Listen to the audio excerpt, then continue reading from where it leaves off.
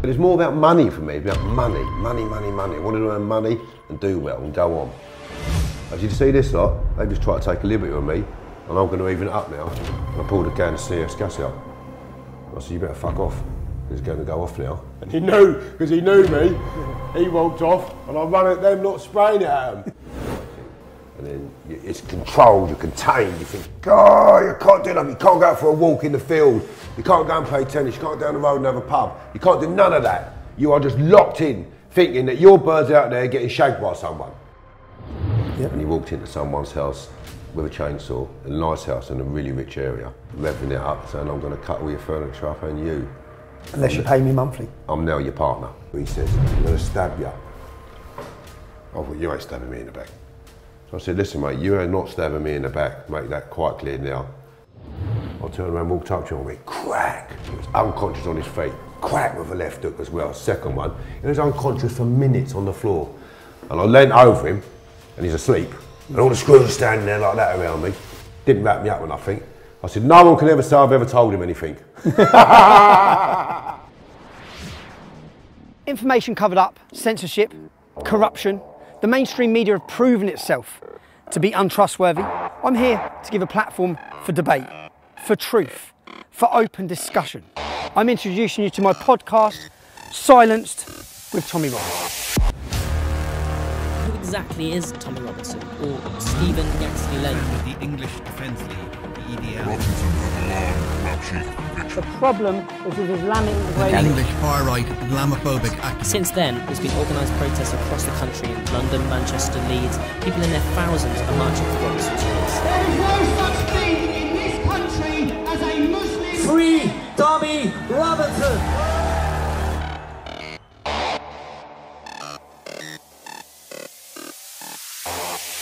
Kevin Lane claims he was wrongfully convicted of Bob McGill's murder in 1994. He was released from prison in January 2015 after having spent 18 years of a life sentence behind bars. And later that year, he lost an appeal challenging the safety of the murder conviction at the Court of Appeal in London.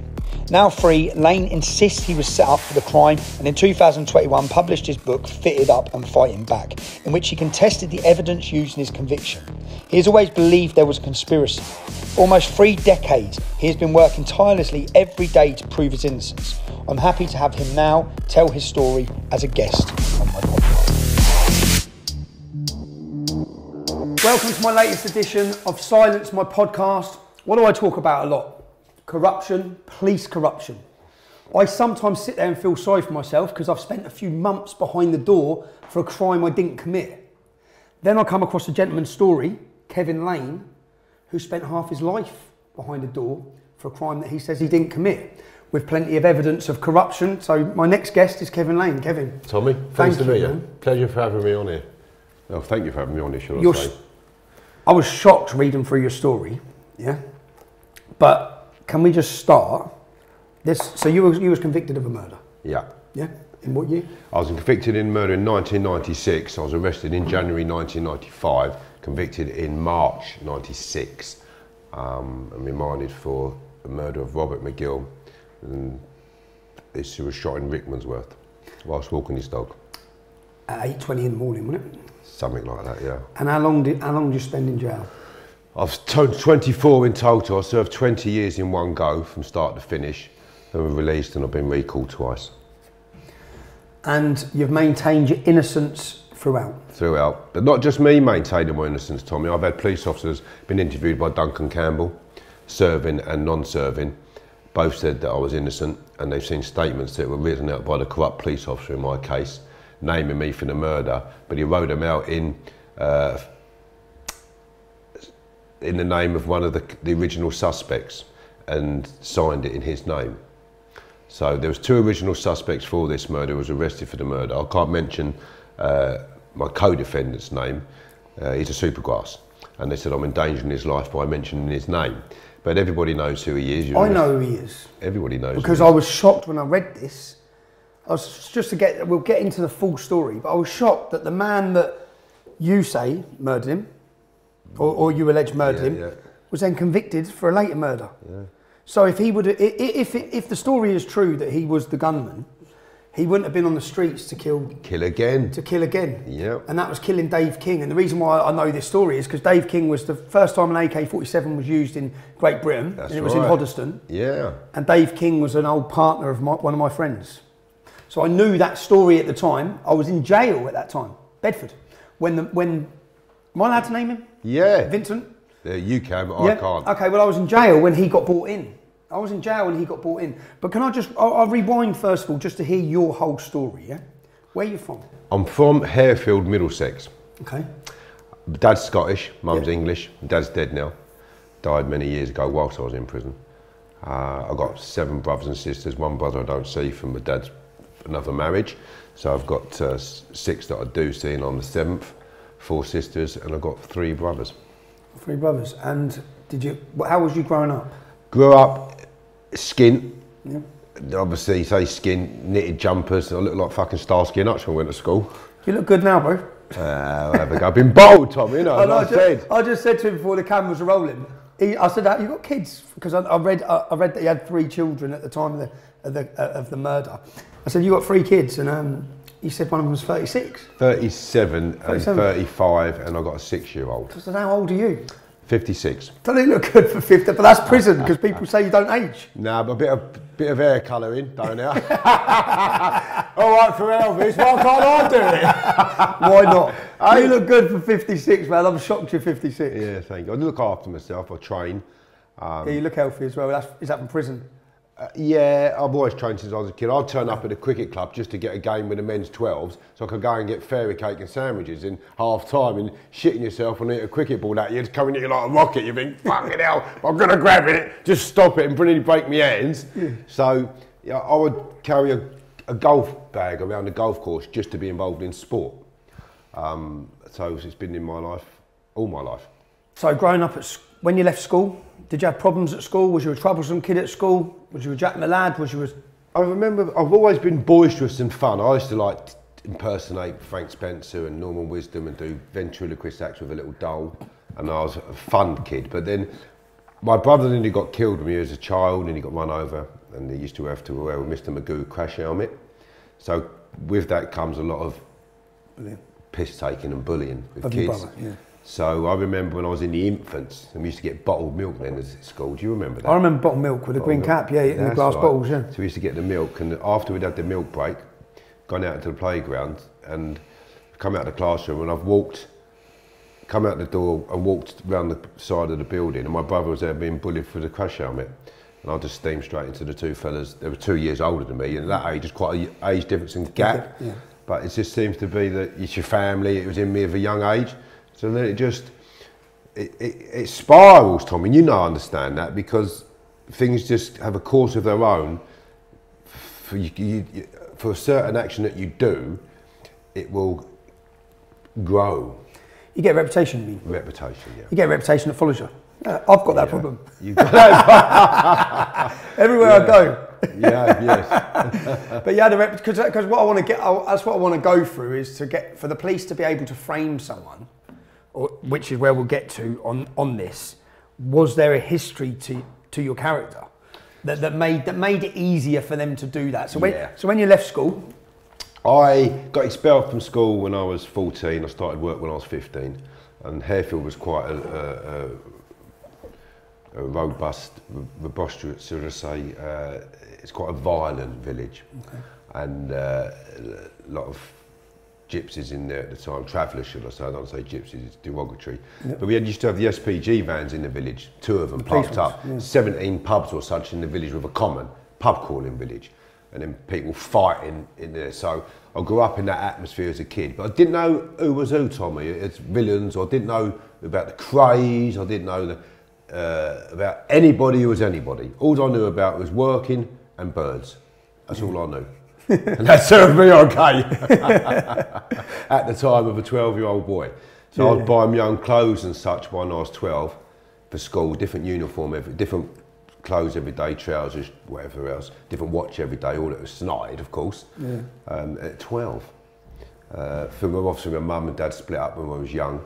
My mum remarried years later, but nonetheless, I was working well before then. When I got expelled, I got a flat when I was 15 with a pal of mine who was deported from America. His old man used to whip him with an electric lead. He went on a run for years, burgling. He Ended up coming to England in foster cares. He got a, flat. I moved in with him at 15. And then from that, I met a girl, Kim Purcell, beautiful girl, still beautiful now.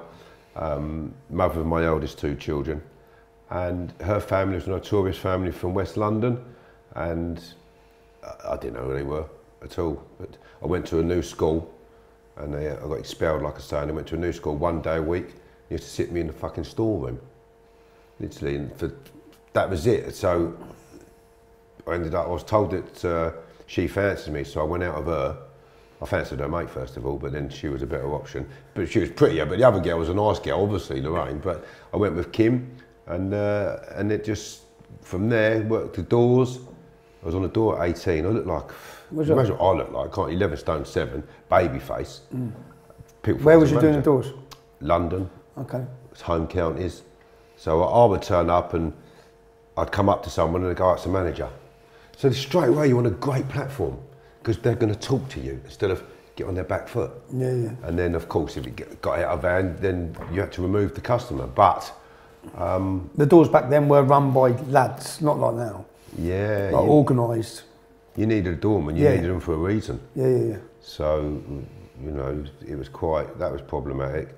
But I, I, started working the doors and then I bought a security company name to launch camera security. So I knew that was a way forward back in 19, well, 1988 actually, 89.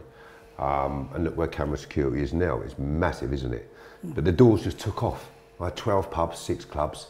That's full time. 120 doormen worked for me without raves. That's without any emergency work. Uh, and it took me off in an area that How old were you at that point? I was 20.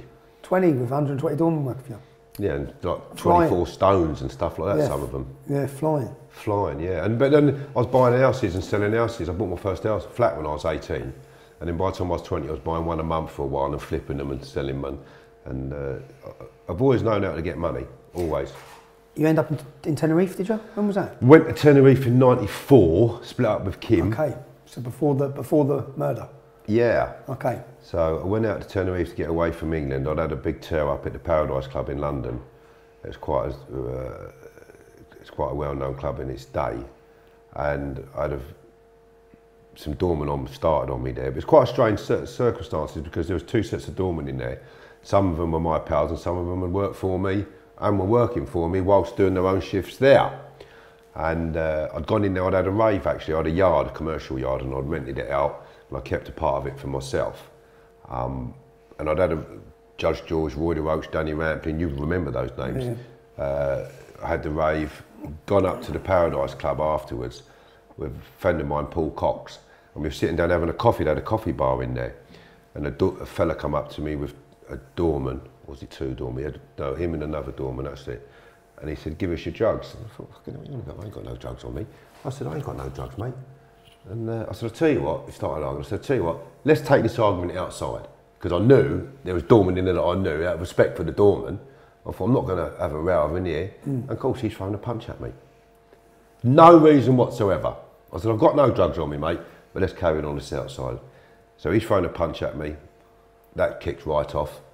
Um, it'd gone right off and all. Other doormen come running in from the other firm Yeah. that didn't know me. Um, they were trying to get me down the stairwell where all the beer barrels go. If they'd got me down there, they'd have severely hurt me.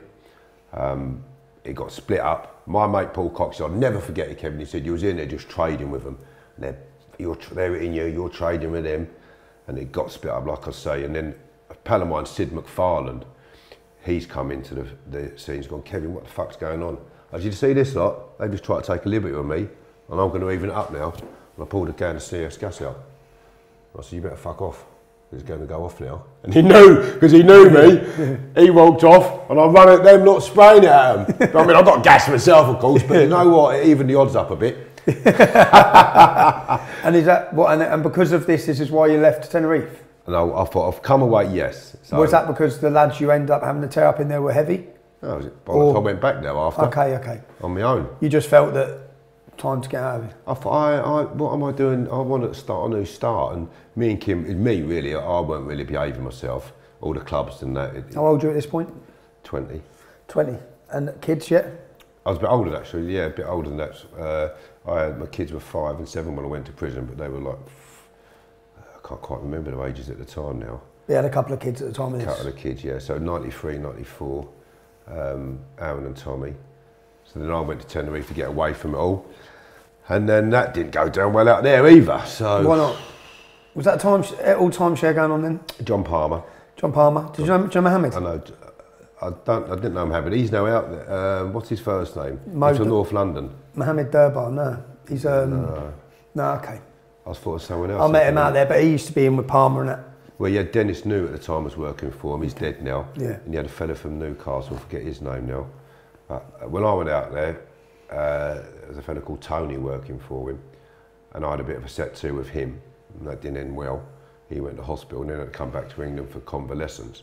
But that was just, you know, so I was in a bar, in a, uh, I was living on the Golf Sur. Kim came out there in the end with the I was children. there last week. Was you? Yeah. Yeah, yeah. Well, Kim came out there with the kids. And I was Leo de Villa on there at one point, and then people were talking about drugs in the Golf del Sur, and I said, "This is the Golf del Sur, like you know what? They, they have the European golf uh, tournament on there, one of them anyway, on the Golf del Sur."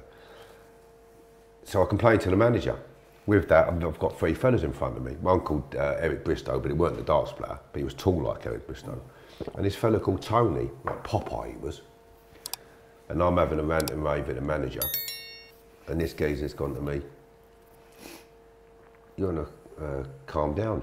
I said, got fuck all to do with you, mate. You want to stay out of it? And he looked at me and thought, I'll pull your head off in a minute, you little bastard. and, and then I've carried on having a bit of a rant and a rave about it. He's going, if you carry on, we're going to have to go outside. I went, no. And I've stood up and he stood up. I'll give him a straight left and a straight right. He's gone back and hit the door, shook his head and come back at me. So we had to tear up. He, had, he got carried out. The Bill, Bill come with machine gun, shot the roads off. I thought, oh, fucking hell, like they with you a bit different over here. I've heard about what they do to you over here. So I went back to the house, washed the pool, in the, washed my face and all that. Before I got into the house, my little boys can see all blood on me. I didn't want to see blood all over me. It weren't my blood, but I didn't want to see the blood. It was only a straight fight, but he, he had quite severe injuries, the fella. About 127 stitches he had in his face. Oh, fucking hell, bruv. I know, broken nose, broken bits and pieces and that. So, and I didn't hit him with nothing, just my hands, and I did nut him a couple of times, but um, he said, when I come back, I'm going to kill you. But fucking hell, like, I'm up against it now. He's got, Palmer's got all his fellas over here. Yeah, yeah, they're running it. But I knew John anyway. Yeah. I thought, God. So she's come home with the kids, So you've gone over to Tenerife for a quiet life. Quiet life. Thought I was going to do the timeshare. Blowed all that like that. Ended up having a massive, I had a few fights out there. I thought, what's going on here? So I came back to England. Uh, I left there. I stayed up there for a while. I thought, I went back to see, I said, listen, I didn't know the geezer in hospital at the time. So I went back to this Eric Bristow's car firm. And I said, listen, tell him, whoever he wants it, we'll have another go. And he said, he can't, he's in hospital and he's going back to convalescence in England. And then he's going to come back and kill you. I thought, ah, bleeding out, like, I come on, fucking hell. So I stayed for about three weeks. I thought, I'm going back home. So I got an exit visa and then slipped back out because the police were looking for me. I mean, they cordoned the bleeding Gulf off with machine guns. And I went through the cordon because I had Kim and the kids in the car, got them in the car, and they was looking for a single white male. The problem is out there, they say that back then Palmer controlled the police as well. Oh, he, he controlled listen, everything. massively. The whole island. Yeah, massively. yeah. And other islands. Yeah, yeah, yeah. Had a massive force, John did. But he, he, he didn't know what happened at the time, but he did afterwards. Because when he came away for the timeshare fraud, I bumped into him in Long Lartin and he said, Kevin, Kevin, he come straight up to me through the fence. He said, listen, fucking, I didn't know anything about it. I said, well, I know you didn't, John, but uh, none of this doesn't really matter now, it's over. What happens then then? You leave Tenerife? I left Tenerife, came home. I liked Tenerife in terms of Does trouble follow you? Yeah, you probably know about that. So I liked Tenerife for the, the north, the south of the island. I didn't like, The North shit. I didn't like the fucking all the, the Las Americas and that. Okay. I liked it in the greener areas where it's rural, Oh, okay, yeah. dark green, so it's quieter. Yeah. That's what I liked. You've been out there since you've been released. now you're on licence. No, I can't go. Okay. Go work, go work, can't go on holiday. Mad isn't it? Get a job in Tenerife. Get a job, yeah. I might open a male lap dancing club. See if it takes off. so I came back to England and then got nicked in. I came back in September and got nicked in January. so you get nicked for the murder in January. The man who was murdered was Robert McGill. who was He was a face in the area. he was a face protect used to run protection rackets Yeah. of shops, businesses. Anyone. Was he an enforcer? Was he a bully? Uh, I he's dead now, so I wouldn't like to say that about him because he was family. But he was a, a hard, a tough cookie. Yep. No one to be messed with in the area. There was someone who messed with him. Pat Purcell uh, certainly governed him. Okay. Uh, or he respected Pat, and if Pat had something to say, they had a few meetings and a few times over certain things, and it was dissolved, o- resolved over a conversation, and both went their ways. So that showed you mutual respect. But um, yeah, he was no fool. After he'd walk into the, your house here with a chainsaw and say, "I'm now your partner." He'd do what? Say, for instance, you had a wine bar. Yeah. You, not you per se, but Yeah. a businessman. Yep. And I know he'd done this, so this is actual factual. Yeah. And he walked into someone's house with a chainsaw, a nice house in a really rich area, uh, revving it up, saying, I'm going to cut all your furniture up and you. Unless you pay me monthly. I'm now your partner. I'm now your partner. Yeah. Okay. This was back in the day, which was how this things went. Yeah, I, I didn't know how them things went at that time. It was new to me. There's more of it up north than there was down in the south at the time, I thought. I didn't know much about it at all because I wasn't involved in that. Okay. So I got nicked for that. But the original suspects got arrested in uh, December. And I still find it mad that the original suspects are the ones that went on to get convicted of Dave King's murder eight years later. eight years later. But what happened was their police handler subsequently went to prison, Th- And their police handler was called Christopher Spackman. Christopher Spackman, who so Christopher Spackman was the police officer in charge of this case, your Yeah, murder, f- yeah. when you was arrested. Yeah. But he also was a police handler for informants. for them for previous cases. So previously to this murder, the two main suspects had been given information for cash to Spackman. Yes. So then this murder happens, and they're pulled in. Yep. So they were. There was an, quite a few factors in relation to that for them being pulled in. Yep. Going around the area bragging about it, calling themselves Ronnie and Reggie, showing the gun off in a pub. These are all witness statements. witness statements. Um, the my co-defendant, who was been charged with the, who got found guilty of the David King murder, his Was that your co-defendant, the lad who got? yeah, convicted? yeah. okay. So he got acquitted, obviously, but um, I'll come into that in a little while.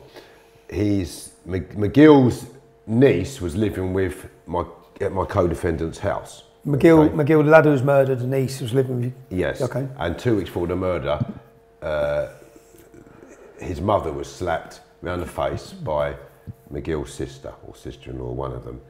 So His there's motive. motive, um, as well as So your co-defendant's mother was slapped by McGill's sister. yep, So there's a family fallout going there between McGill's family and your co-defendant. and, and that was kept from the jury. But what I didn't know at the time, Kenny Collins, a Hatton Garden burglar, he had Ralph Haeems. Ralph Haeems had the Krays. My co-defendant idolised the Krays and used to write to him and visit him and all that when he was a kid. So he's he went to get Ralph Haeems as a solicitor. Ralph Haeems told Kenny Collins that the deal's done. He said, "My my uh, client's getting out halfway submissions. Your client's going away for 30 years." So when it came to court, the police got in the dock and asked for the most, the maximum sentence to be imposed on me for 30 years. And then at halfway submission, the judge stopped the trial and told the jury to acquit Vincent. Oh, you're going to have to edit that. I Yeah, yeah, we've understand edited that, yeah. Right, to acquit my co-D. Um, and when I say my co I would only ever met him twice. And it was when I walked into a pub once and a, uh, a party once, and they were throwing cans of beer around the front of it. I turned around and walked off. And I was in a nightclub in uh, Swiss Cottage, and they was in there, and he, one of his pals was staring at me. I said, "What's your mate staring at me for, mate?" He goes, "Oh, I don't want his office." I said, "Well, tell him to stop staring at me. I don't like it." That's the only time I ever met him. So the only time you've ever met him, he gets pulled in for the murder originally by the same police officer that he's an informant for. Yeah, Yeah. And he brokers a deal, is that right? that's right. And the deal's in the book. The deal's in the book. And these would all be, these, a lot of this, as, as your, people could say were your allegations, but as we go through this story, they've been corroborated by other police force, other police officers who has come forward. Spackman is now in jail. He was in jail for four years, changed his name as well, It's proved that he's doctored evidence on other cases. and done the same in mine. with Riley. Exactly the same. That's right. So let's let- okay. So let's Well done, understand. yeah. yeah. So let's understand. So the police, the, the police arrest him. Why? Why? How? How do you get pulled in? due to my co-defendant's confidential chats. He said, uh, and I'll, I'll, I'll read it out to you in Yeah, the book. So, just out of And seriously, any of you, I'd get this book. I'd research this case. I've sat and read through it. It's shocking to see what the police officer, like people talk about circumstantial evidence or enough to get a retrial, which you've been trying to get, mm. and you were knocked back and knocked back and knocked back, Yep. And they hid so much evidence. There's not not not not, not little. We'll get onto it. Loads. Money evidence of money you were making in Tenerife. Loads they didn't want. Yeah, that, but they wanted to act like you had no money. That's why you done it made out of skin. made out your skin. Yeah. When they had evidence and statements that Spackman had gone and got from Tenerife that proved you had tens of thousands getting, Absolutely. You've got it bang on, Tommy. which is which, which, which again is not giving the full picture. So the jury, because you were convicted by a jury, right? 10 to 2 majority on a second trial. So you can you understand when you look you get the evidence served on you that there's stuff missing. And I remember when I was convicted, I was, before I was convicted, I said to my mother, listen, I'm going to get guilty here because they're lying. It doesn't add up. What the fucking hell am I doing here? So my co-defendant, when he was arrested, this is from Detective Superintendent Winnett, following the charging of, I can't mention his name, with being concerned in the murder of Robert McGill, I spoke confidentially with Mr. at his request. He reaffirmed that he had not been present when McGill was shot and was shocked that he had been charged with the offence. He wanted to do a deal whereby his charge would be dropped. In return, he would supply through a solicitor a statement accounting for his prints being in the car, the BMW that is, that was used in the murder, and he would supply on a confidential basis details of the two persons responsible for the murder. The persons who put them up to it, including how much was paid. He stated that they had in fact been paid to kill McGill and that they were responsible for another one whereby, out, had been killed.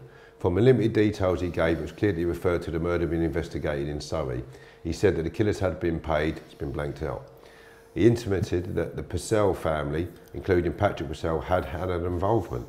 He stated that through a, a thorough police investigation would, would net everyone involved, with the exception of someone he referred to as Clarkey, who did not get his hands dirty. He's now dead, John, and there's an absolute load of bollocks what this, he's saying, but he was a big name in the day, so straight away it had the old Bill's attention.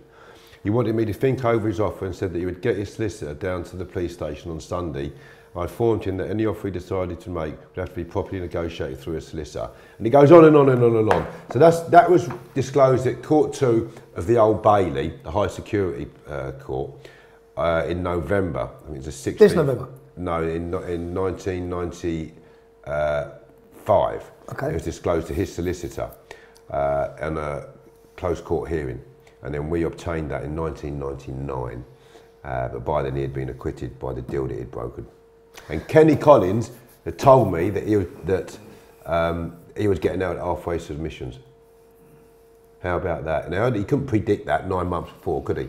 No, no, no. So, so, so the public, un- so, so people watching this understand. He gets arrested. He sits down. I'll give you a deal. Yeah. Straight away. I'll give you who it was. His prints are in the car, right? In the car. He never explained why his prints were in the car.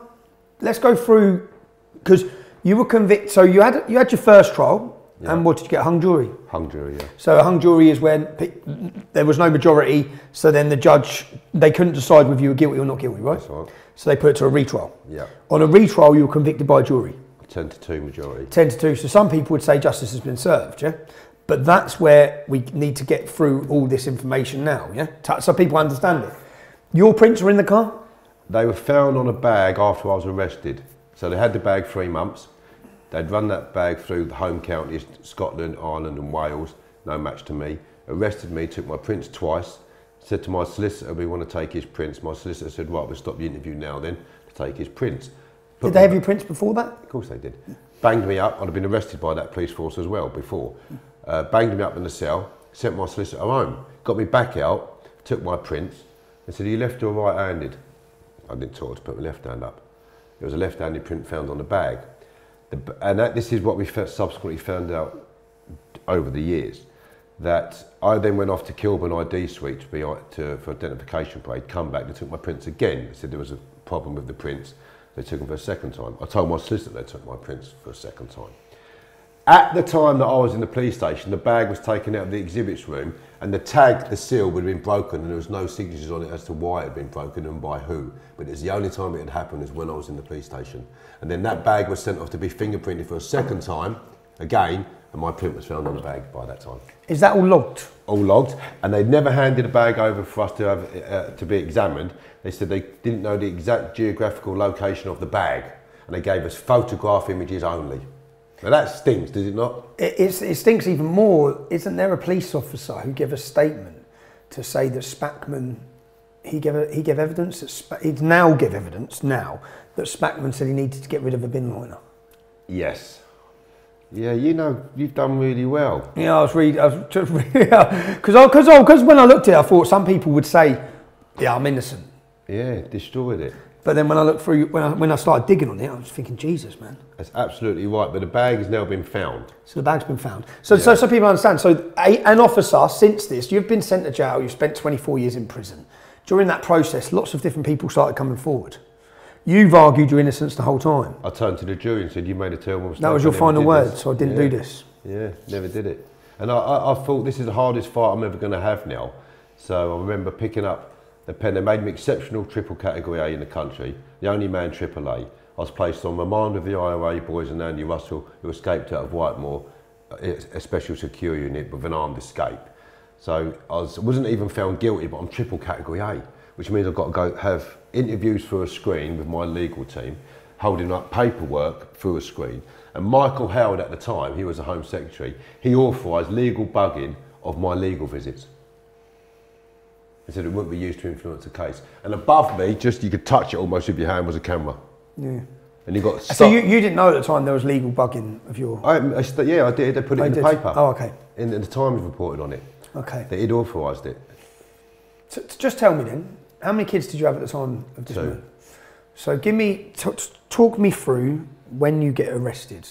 Where So, was you? I was. I moved moved to Potton. I know Portland. Yeah, I moved there. Well, well my ex moved there. big travelling side is. That's right. Yeah, I went on there.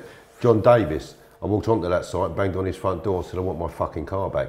So, yeah, and he looked at me for what are you doing? I said, "I don't give a fuck. You live in caravans, and you cannot live in caravans where you got my car because I will set the lights on them all."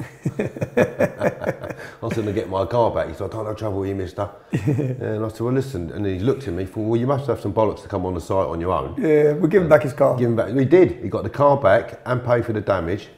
Um, well, he knocked me for fifteen hundred quid, but I got got nicked for the murder, cheeky bastard. So I was selling counterfeit clothes and perfumes, not all counterfeit, but he was taking loads of it and moving it. And I got banged up. I mean, fifteen hundred quid, but that's he's dead now, so I won't talk ill of him. Would you say at the time of this murder, you yourself had become a big face? In London, You're running 100, the- with the 120 yeah. doors, you're a face Yeah. because that's a, you've got to be a face to be able to have the doors back in those days. and have people respect you. Yeah, yeah, because No. otherwise you've got to be able, you've got to be a bit of a heavy. I would just turn up and say, well, uh, me and you, let's Yeah. do what men do best and have a straightener. Okay. Simple as that. I don't care how big you are, but we'll have a straightener Mm. and we'll shake hands after. And but I, it went like that really. And the lads respected me, so I would never turn. uh, I would never say, "Who am I working with?" I say, "What problem? Where is it?" And I'd go there. And if you was working somewhere, Tommy, I would turn up. So what are you doing here, Kevin? I said, "Well, I can." I'm in here to make sure you're all right as well, you know. And I would always turn up with my lads, and they respected Yeah, yeah. me for that. And they would say, "I'll get Kevin, get Kevin, we'll have Kevin." Mm. I thought, well, that's pretty good. I was only like a young kid at the time. So, yeah, I was respected in, in that manner, but you're too young to really understand that, you know. You, it's, I was more like, oh, of course, I've got a load of birds with me. I'll walk into any club with a load of people. So it was a bit, probably went to me head a bit, I accept that. Yeah. But it's more about money for me, about money, money, money, money. I wanted to earn money and do well and go on. So I got nicked for the. I've lost Where, where, where was you when you got nicked for the murder? Potton. And the, I Sit at home with your missus and kids. well, first of all, I went to Newcastle. I went up to Newcastle and I had a fight with some doorman up there. Your uh, story is just I had a fight with him. I was fighting there. I went here. Is there any way you've been without a fight? No. but if you've got a nice bird on your arm and you look like a bleeding idiot, people will start on you or try to pull your bird. So there was two rugby players actually, and they were dormant, and they one picked me up like that, literally, my little legs were dangling like that. They were, and they, they came in, and one of the hacker and something else they were called, and it hit a couple of people in the barber area, and then he was making a beeline for my mate Chris Hampton. And I thought, well, you ain't getting to him. I knocked him spark out. Hmm. But the next thing you know, I've been picked up. Literally, I, he, he was just coming to one of my mates and give him a bang, so I banged him. He's gone to sleep. I've got picked up. I thought, oh yeah, no problem. Pulled out the gas, gassed him. I'm standing outside. The whole fucking gaff emptied on me. There must have been, not the whole gaff, but there's about 30 blokes standing in front of me. Oh, come on in. And like they, they weren't too sure. I thought I've only got a little bit left. so I got in the motor and went back. I got nicked for that, and then I went. I got bail. I went back to Hexham Magistrates Court and got arrested by the old bill. They brought me back down to Watford Police Station by blue light. Arrested by the old Bill Four. Old bill for the murder of Robert. Oh, so you wasn't at home when they got arrested? No, and then they. Okay. I got arrested at Hexham Magistrates Court for fighting with the two doormen. Uh, got bail, and then they arrested me at Hexham, took me home. I got booked to the police station. Got bail again. Bail on the murder. Got bail on the murder. Uh, after I didn't get picked out on an ID parade, but that's when they took my prints twice. Got me. So there were witnesses to. There were witnesses who saw two men in a car. To, oh, but then hold on, I got arrested again. They bailed me, and then I got arrested at home. Okay. And they, I'm remembering Potton, they, the phone went early hours in the morning and uh, I picked it up and they said, someone please come out. So it didn't come through my front door, which was quite unusual. Um, get away from the window, get away from the window. Or if So the I- intelligence they're getting given, you could have one of them. yeah, yeah. If they if they believe in, you may have been set up by some police officers, but the police officers who are sent out to get you, yeah. you're armed, you've killed they- someone. I think they thought I will use it if they Yeah, come yeah. through the door. Yeah. So that's why they phoned up, yeah, obviously. I didn't want to say that, but that's what they thought. Yeah. So uh, I came out and I got arrested at home, took to. Uh, well, obviously, when I got bailed on the first occasion, that's when they needed to get my uh, substantial evidence against me, and that's why they got the print on the bag. Uh, and I was re-arrested, like I say, at home in Potton, and then remanded. So then from the day of that remand, Went to court and they said under new forensic evidence found. That's what they stated in court. We have Lane's print on the bag. It's got firearm residue on it. And I thought, you lying bastard. and on this this bag in the this bag was in what car? So I had a car nicked off from my home in Potton. It was a Ford Cosworth. I only had it one night. Took a part off the engine to stop it being nicked and had an immobiliser on it and everything. And they still managed to take it. And that was the Travellers in uh, Potton. Yep. So that uh, John Davis. So mm. that's how come I went onto the site and say, because my missus said, listen, we had the Travellers round here today. It's a private estate. They come and looked at your car and reversed back out. And then that evening there was a man raid uh, somewhere in the area They used to uh, fags, because they're famous for the cash points over cash there, points over that. that on that site. Loads. And the police yeah. don't even follow them back. They just grab them and drive back to the site. I could, yeah, but listen, I know they are. Police just give up. active. Yeah, Yeah, they were active. well, were active. Yeah, I can't go back 15 years. but they was ramming, doing fags and all. Mm. So I knew that they had had my car, and that's why I went onto the site. Got the car back, uh, and then I was loaned a car, which was a 320 BMW. I went to look at an XR. Loaned a car by. uh, family um, member of my family, my partner's member of his, her family, lent me the car. I went to look at an Astra, and I went to look at an XR2 and a BMW, and there was all like the money weren't. It was too much money for what they were, or something went right about the car. So my partner's uncle turned around and said, "Look, "I've got a car you can borrow here." Gone to pick this car up. It was a I told banger, and I'd come down to London with Kim and the kids uh, in it that weekend. It's blowing smoke and all the rest of it. And I went to a club called Broadway Boulevard where I used to work the door. I was only 20, you had to be 21 to get in there. So I went to there with Kim, my brother, and Bradley Verity. Took the car back because it was a right old shitter, smoking and everything.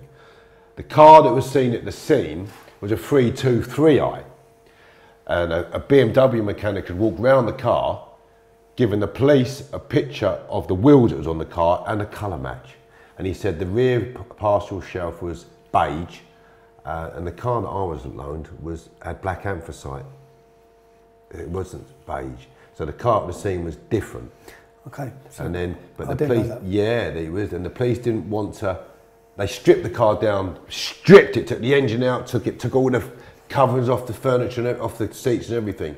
So when we managed to gain access to the car, we was given a run around and that by a car specialist. It had been stripped, absolutely stripped. But it wasn't the, the car that I was loaned was just copied, and the car that was used at the scene, like I say, was a different colour, different Okay. engine size. but by now, that number plate was connected to me. and they're saying that in that car they found your fingerprints, Yep. But they also found Vincent's fingerprints. All over, yeah. All over the car. And the car, yeah. And your fingerprints were on a bag, and your reason for that was that you borrowed the car? I've been in the boot with the car. But it weren't just your fingerprints, your kids' fingerprints. Kids' fingerprints was on it. My kid's fingerprint was on paperwork in the car from drawings and that. And the car. So, uh, so as a hitman, because I've seen newspapers label you as the executioner. yeah, The alleged executioner. Yeah. They're saying you're a professional executioner. yeah. But in that case, you wouldn't be a very good executioner if you're taking your family car. That doesn't. That part of it doesn't make sense at all. Right, and that car was Just being, the, just that part. just that part. But that car, Tommy, was being seen driven by another individual after I'd returned the car Okay. by so- a police officer who knew me and said, "I see that car being driven on this date by by uh, someone else, and it was not Kevin Lane driving that car, and he had dark hair that matched the description of the gunman." So they know the car was out of your possession. Yeah. You, you accept you were driving the car because you borrowed it. Yeah. That's how your fingerprints. Did Vincent ever have to explain how his fingerprints got in the car? No, because he was acquitted halfway through by He the didn't even judge. have to. He, he wasn't even asked. He didn't have to explain why. When he got arrested, he said, I knew this was going to happen because I've been bragging about doing it all over the I've been giving it the large, he said, all over the place. And it's all got out of hand. The mad thing is, like this could, like people may doubt bits of it, but Vincent's gone on to be convicted of another of, a, of a, another hit. He's gone and killed someone with AK-47. So the man that's fingerprints are in the car, the man that's done the deal with the police, has gone on eight years later to execute someone else. and bragging about it and bragging about other murders. Yeah. I don't know if he has. If he, he tells people he's killed more people than Freddy Krueger. He's quite egotistical, this fellow, my co-defendant. But he's an actual. He put a gun in his hand. He might be dangerous, but other than that, he's an arsehole. So you, so what's going on in your head at this time? You're arrested. You're then remanded. What do you think when they tell you your fingerprints on the bag? Well, I was told at the court. I thought that ain't right. I've had my prints taken twice. It's something. So right uh, just to, to re, re go through that again, your prints are taken. As if take as you're in custody, someone has gone and accessed the bag, yeah, and taking and there's the records it. of officers opening that bag, but there's not a record of which officer opened the bag. There you go. And that's at the same time that you're in custody. Yep. So it's as though your print might not have been on the bag. It's been placed onto the bag. Exactly, exactly that. And they would never give us the bag to be tested, which is another bleeding. And they still haven't to this date. Still haven't to this day. So I then go away. Yep. My co-defendant's kept in different prisons up and down the country. He's having police visits, and a pal of mine, Tony Daniels, he was in the scrubs at the time, and Gary Nelson, had got done for shooting PC Dunne, was in there. He'd, he'd had a row in the in the unit, and they sent him on a lay down, I think. Well, I can't say my co-defendant had gone. They was keeping him in the scrubs, and then giving him cell association with Gary Nelson. I've never heard of people having cell association in the block. Never. And at the same time, The block is the block is a separation isolation unit within a prison system where the most dangerous criminals are put. Yeah. yeah, And, or and if you've been nicked or something. yeah, yeah, Uh, yeah. If you've got a nick in, but Nick in, you're not allowed to mix with other prisoners. No. I've been down. I've done ten blocks. Yeah, you know, didn't you? Yeah. So You're not allowed to see anyone. No, you, you can talk out the windows and see Yeah, him yeah, on the yeah, yeah. exercise yard sometimes. But he was having cell association with Nelson, and then at the same time, Tony Daniels see police officers in my co-defendant's cell, talking to him, coppers in his cell. And I've got other evidence in the book where uh, special visit on Freeze Landing when he was moved to Birmingham. Police interview went well, no problems, and it, there's plenty of that in there. How long did Vincent uh, serve?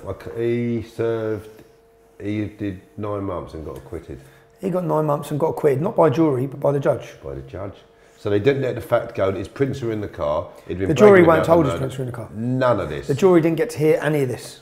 So this was all withheld from the jury. Exactly. There should have been the jury should have been put to them that he's been shown off a gun in a pub. He's connected to the car. But what is worse than this, the gentleman got caught with the car, his name Leonard Bennett. He he had been going around. He made a statement, turned around and said, "My co-defendant and his uh, his mate David Smith had given the car and asked him to burn it." That statement was suppressed and withheld from me until 2007. So And 12 years later. So the car that was used, someone gave a statement at the time saying that Vincent and Thingy asked him to burn the car. Yeah, give it to him and ask him to destroy it. And that was held, withheld. He got caught with the car. He got caught with a car and then, bloody hell. Yeah, and that was suppressed. So any evidence that brought the case to them was suppressed. Or he wasn't. I mean, I, any questions in relation to the Was you aware back then of any of this? None at all. So you weren't aware of any of this. You maintained your innocence. Hmm. I thought, how can this have happened to me? What is going on here?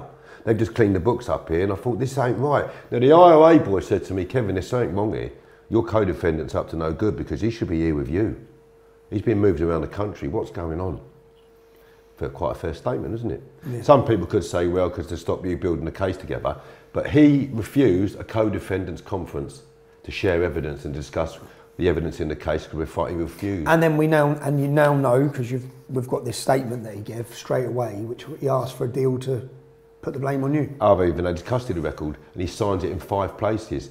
Five places. And he said, I want to talk to the police on a confidential basis about assisting them and the advantages of assisting them with this case, and he signs it. And the advantages, and with the police, would you have been a face that they were worried about that they would have wanted off the street? What was Spackman's motive for this? What would you say the police officer, Spackman, who's the police officer who had Vincent as an informant, who's the police officer who's falsified evidence, who's then gone to prison, yeah? What would his motive be? He nicked me years earlier for ringing cars. Yeah. And I remember him coming to my house when I was about 21. And I just bought a new house. Lemar lived down the same, pretty much the same street. Remember the singer Lemar? Yeah, yeah. Uh, nice house. I just had a front extension on it. I'd had all marble and gates, and I'd had all the back garden done. Uh, I was only a young kid, obviously. He said, "You got a better house than me." I said, "Change your job then." he didn't like that. It's like a car ringing, bruv. Oh, yeah. but I was buying this. I was, yeah. I mean, it was a lucrative business, but I was also working as well. But I thought I'd go and get a car for four grand, get a dodgy material, get a, a, a nicked interior, and I'd sell it for fourteen. It's good you're. I say I say it's good you're honest in the sense that you were clearly was a colourful character. Yeah. So at the time, because because I, I was thinking when I was looking at this, think, thinking, well, how does someone get fitted up? Uh, how how does someone have these associates? How does someone be in this position? by having a door security firm. And then when Spackman nicked me, so I'll have you one day. He came into my cell and he said, "You think you're the guff- boss of this lot, didn't you?" And he gave me a bit of verbal, and I jumped off the bed to fucking get and hit him. And he slammed the door in my face and said, "I'll have you one day." And then I remember when I got nicked, I thought, "Where do I know that name? Where do I know that name?" And then the light bulb came on. I thought, "That's the bastard that said he's gonna have me one day." Let me uh, let me. Um, where was you on the morning of the murder? At home, Potton. You had an alibi. Yeah. Spackman went, went round to my house. So the mother of my children, she's quite, she's like an English rose. She's very pretty, very sweet girl. And Spackman had went to her work. He'd been to her gym. He'd phoned her up at home. And he said, "We're going to arrest you and put you in the dock." She didn't know any different at the time, you know. And he was obviously fr- Intimidating her. intimidating and frightening her. She was my alibi. So I said, you got to call her. My boss said, we're not calling her because it looks too obvious that um, you're calling your missus to give evidence for you. I said, I don't give two monkeys. Get her and call her because her evidence will be quite clear and truthful.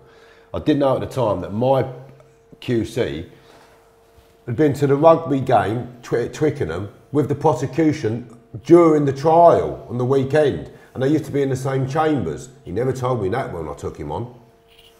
Yeah, He refused to call her. he refused to call her. And there's other stuff he refused to call. Like, Did she give a statement ever Yes, to my uh, solicitor. at the start? Yeah, but Before all this. Yeah. So there's a documented statement that she gave, but he Yeah. refused to call her. Said Kevin never you know, I, was, I know this doesn't sound so.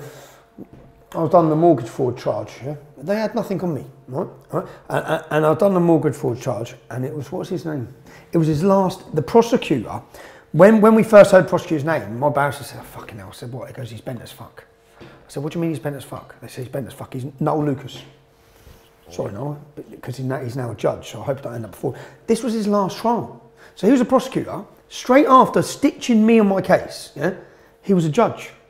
So he went straight from being the prosecutor to begin, given his position as a judge as soon as I was sent off to jail for just totally stitched up on some bullshit case. But you, um, Spackman became a detective inspector. did he? Yeah, as a result. And he got his own police station in Wood. A lot of the people involved in this at the time, because we're going back 20, 25 years, have all gone on, progressed to have high ranking positions. high ranking and retired. So there's been a number of investigations in my case. There was one's called Operation Cactus, and it was a, a review of the evidence to see if they could recharge. Win it. Was this after he killed someone else? Yeah. So once he's gone and killed someone else, they realise, hold on, we had him nicked for another murder. And we by which acquitted him. time, then Spackman's now in prison himself. He's got no one to protect him.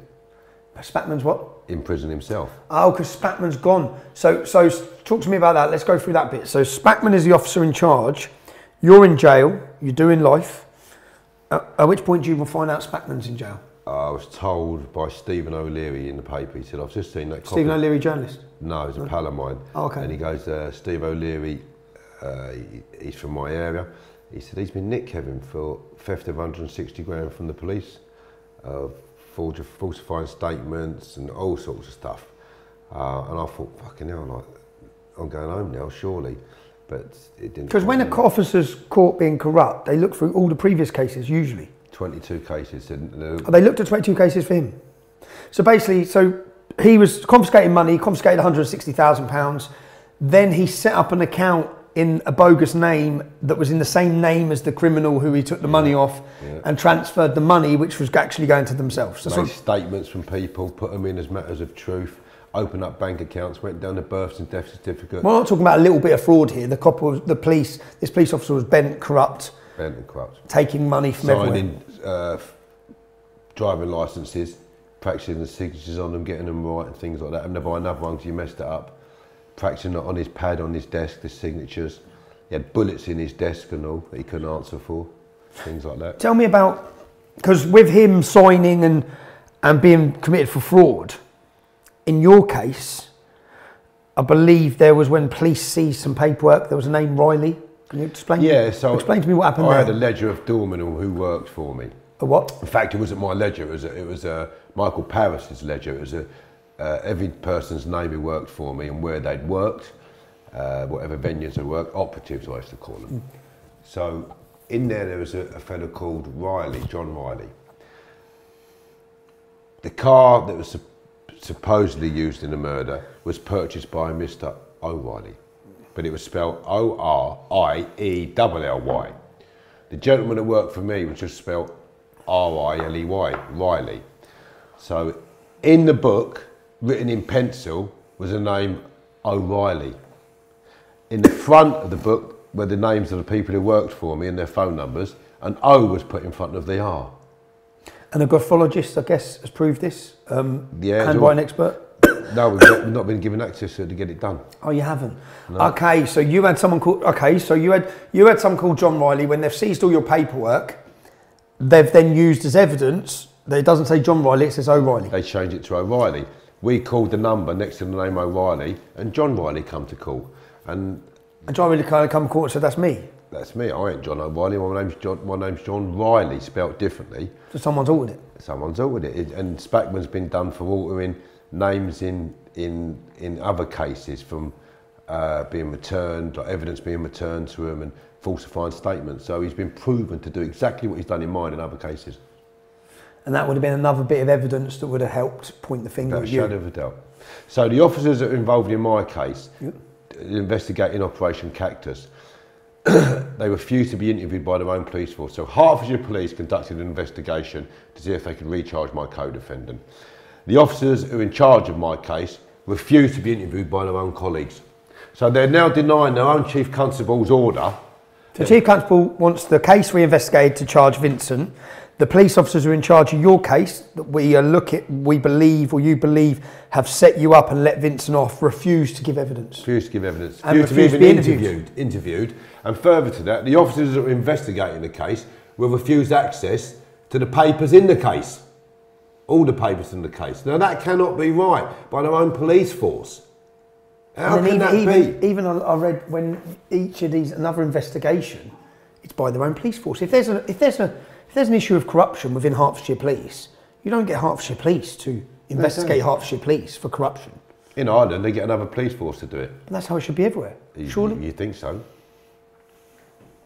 So you go further on to that. I got released from prison. I got downgraded from category A to Tell, me- tell, tell me what tell me what tell me what your first first instance of jail is. What was it like? Where did you go? I You're, went to Belmarsh Special Secure Unit. that's a special secure unit that, that was the, the jail within a jail Yeah, that, like, that, that was that they got rid of. like Colditz. Yeah, yeah, it was the main. flashing, like still, I've still got it, flashing lights and all the rest of it, and helicopters going over all the time. Armed old Bill whenever you get moved and things like that. They got to shut the whole prison down to bring you out of that unit just to go to the doctors in the main prison. and bang everybody up. That's how severe they took it. Everyone's got to be locked up when you come out of that fucking unit. Madness.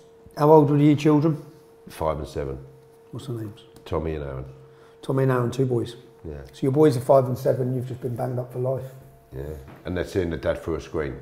That, then I ended up not seeing him for You nine years. Fuck off. Fucking broke me heart. Well, as a double, as that maximum security, you weren't allowed contact. Oh, not touching anybody. You got to see people through a screen. You can't touch no one. When I went into the unit, there'd be a camera there, and the screws used to say to me, "Right," they never said it to me, but these are the rules. If you turn now, they'll terminate your visit because they said you could be whispering something. I said, hold on a minute. You got a camera on me there. You got a camera on me there. You're sitting here, two screws behind me, and now you know you're saying I could be miming something to the, my missus sitting opposite me. Or my five and seven year old kids. So, I was- and so the five and seven year old kids would go out of this door here into another door which is just as far away to a toilet. They'd come out of there, be rubbed down and searched, come back in here. But I'm on a closed visit, permanent closed visit. My clothes I used to have to give in two days before. They would x-ray those clothes. They'd, and I would go back in the strip search room, take all my clothes off that I've just worn on a visit, give them back to them, then they'd go off and x-ray them again. Where have I been? You've got two cameras on me. You've got two screws sitting opposite with the missus And and, the kids. screen. A class screen, and all I'm doing is sitting here. What have I managed to smuggle or do in my clothes? That's how mad it was. In the cell, on, out, on the outside of my cell, I had two deadbolts with two Chubb lugs on them, and was that they come off, and then it's electronically controlled by a room outside of the unit. So they're pushing intercom so you can open up cell seven or whatever the cell was at the time that I was I was being moved into because you move cell twice a month in there uh, when you're in the units, them units anyway. And what effect does that, that there, what does, what does that have? Well, on, a, on a father. It's, it's and terrible. On, and on the kids. So when I came home from prison, I split up with. Uh, I had a baby with a girl, and When you got out after 20 yeah, years. Yeah, she got pregnant in like straight away like that, and we lived together, but it just weren't right.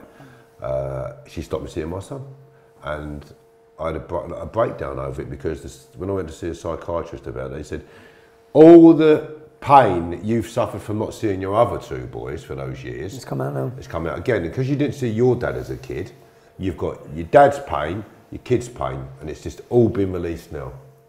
And it, it did it. it. Broke me. It's thanks to that I had a successful business. I turned over 1.7 million off of one company, and I had quite a few. But once you com- come out of jail. yeah, within a year, I built a company up, and I had quite a few staff working for me. I've still We'll got get a onto, we'll get. I will go through all that. I want to bring it. I'll go through all that because that's a success story. You're obviously an entrepreneur, Well, I have a go, but From day uh, dot. I'm having a go. Yeah, I have a character. But when those years, you've done nine years of only seeing your children behind the glass screen. Yeah, well, I got downgraded from exceptional risk after two and a half years down to high risk, but by then, As an exceptional risk in those two and a half years, what's your association in jail? none. You're in a unit. So you're on solitary.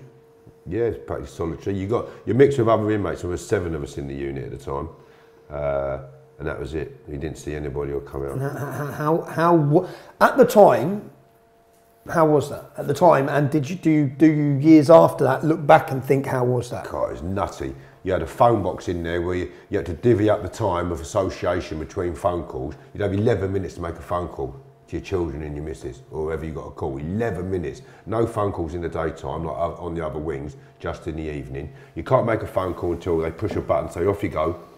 So you're waiting call. on them every time. Yeah, and so then, then they're, you're they're writing down what you're making and the, the call about what you're saying, and then recording it. It's t- and then in on the cell, you're checked every 20 minutes.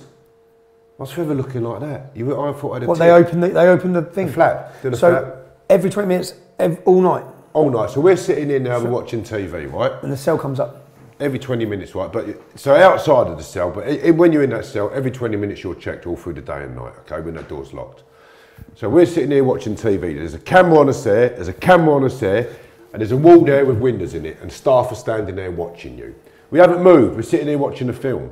Every 20 minutes in the daytime, It's all psychological days. they come in, walk around you, go up to the bolts and bars that they've just done 20 minutes before, bang the bolts and bars, look behind the TV, look in the bin, walk back out, stand up there and watch her. And in 20 minutes I come back in and do the same thing again.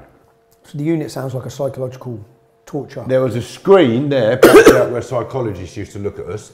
And in the in the box, you know what the box is, don't you, Tommy? It's the, the strip box. So when you you've had an altercation with staff, they take your clothes off, put you naked, in, the, box. strip box. I've spent a, a very long time in them boxes.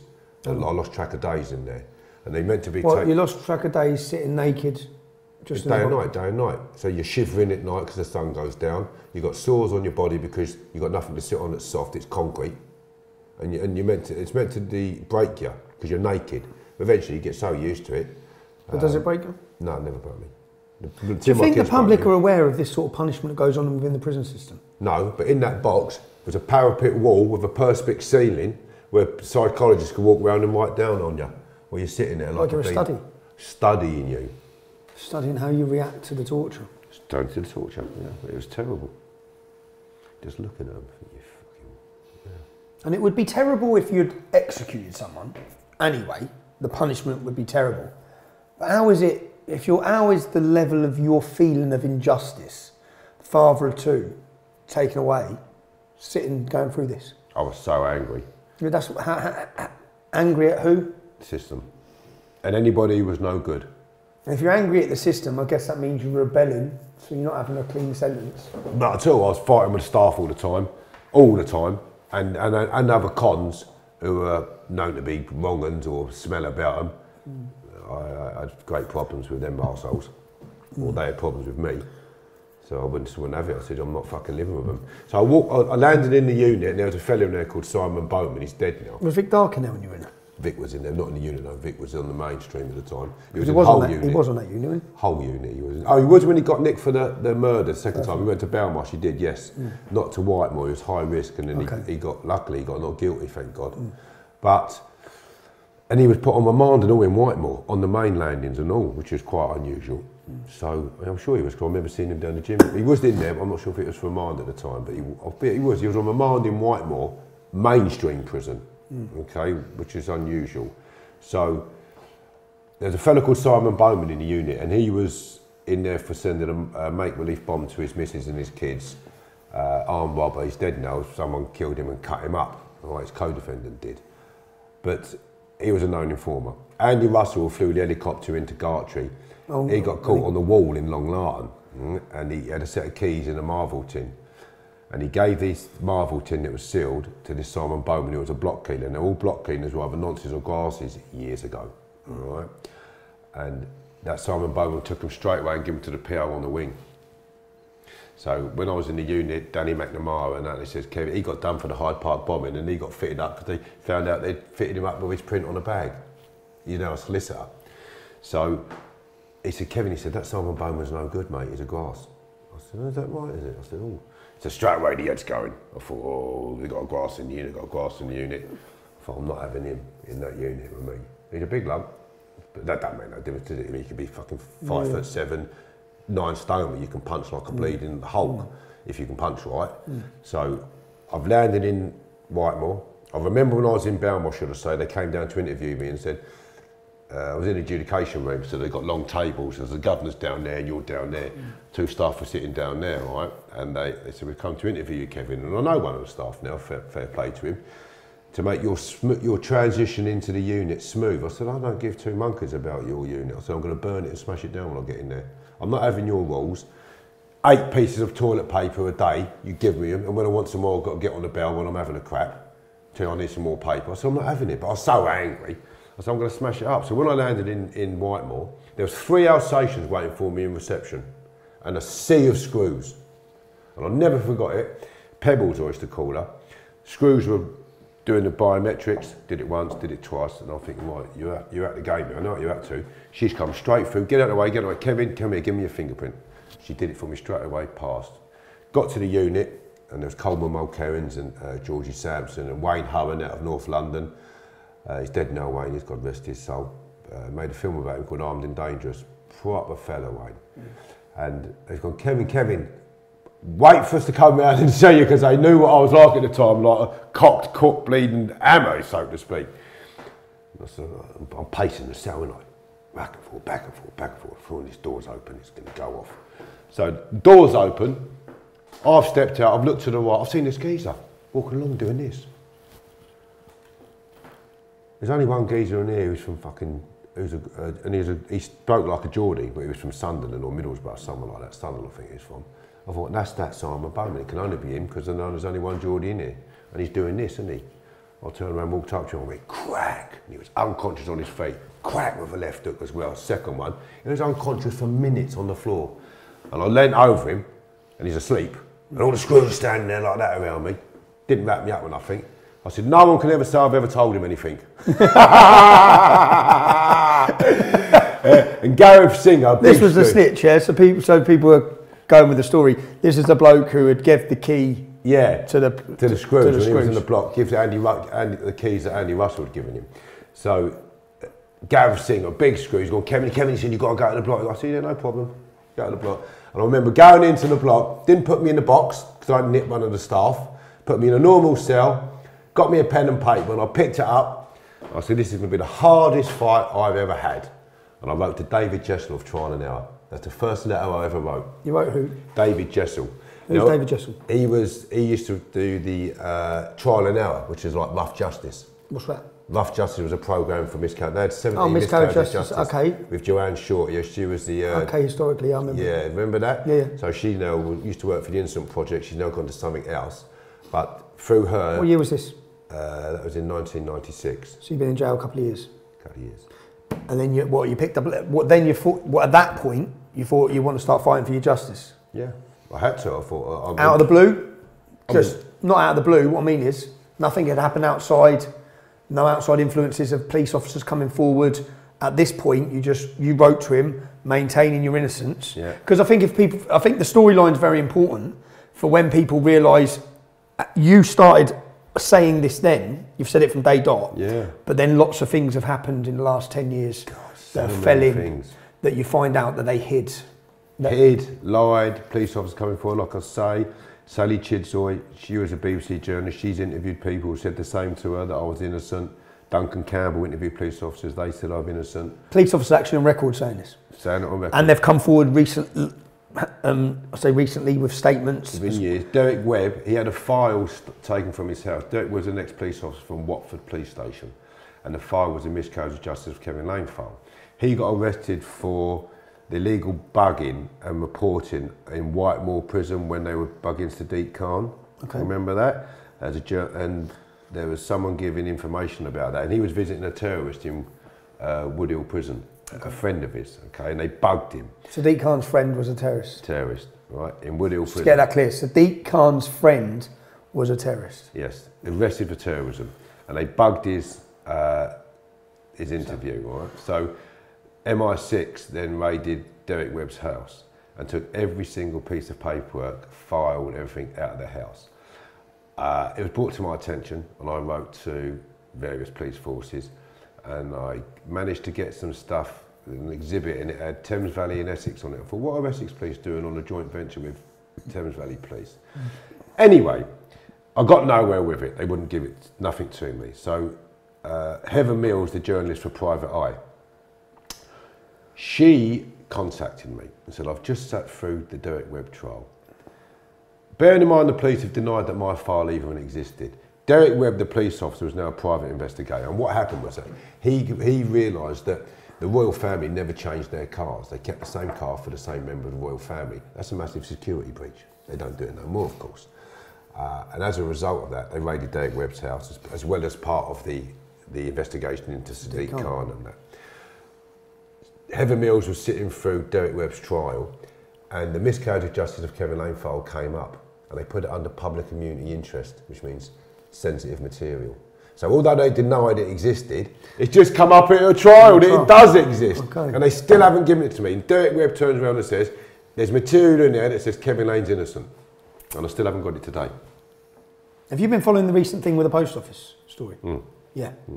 So basically, what Only by radio. only by radio, but what that shows is when the public are fully aware of a situation, that's when justice comes. Of course it is. They cover it up and cover it up and cover it up. Do you think Is there anything happening now since your release from prison, since a lot of the information that's in here has come forward, since witness statements, police officers, a lot of this stuff? Is there anything that tells you that this will get to the public in in in? So I've just been granted legal aid You've just been granted legal aid. Yeah. To what? Uh, to go back to the Criminal Cases Review Commission. To ask for a, a retrial. A retrial. Panorama conducted an investigation through Mark Daly, the reporter for Panorama, Yeah. and uh, uh, Louise Shotter from the Innocent Project. They conducted an investigation into uh, the police. At trial, the jury were told that my print on a bag was holding a, uh, a Mossberg pump action shotgun inside that bag. And inside that bag was firearm residue that said a used gun had been in there or used ammunition. And it was, the mark on the print says it was a Mossberg pump action that I was gripping. I'm sitting there thinking, you lying bastards. I know I haven't gripped a gun in that bag, so I know you're telling lies.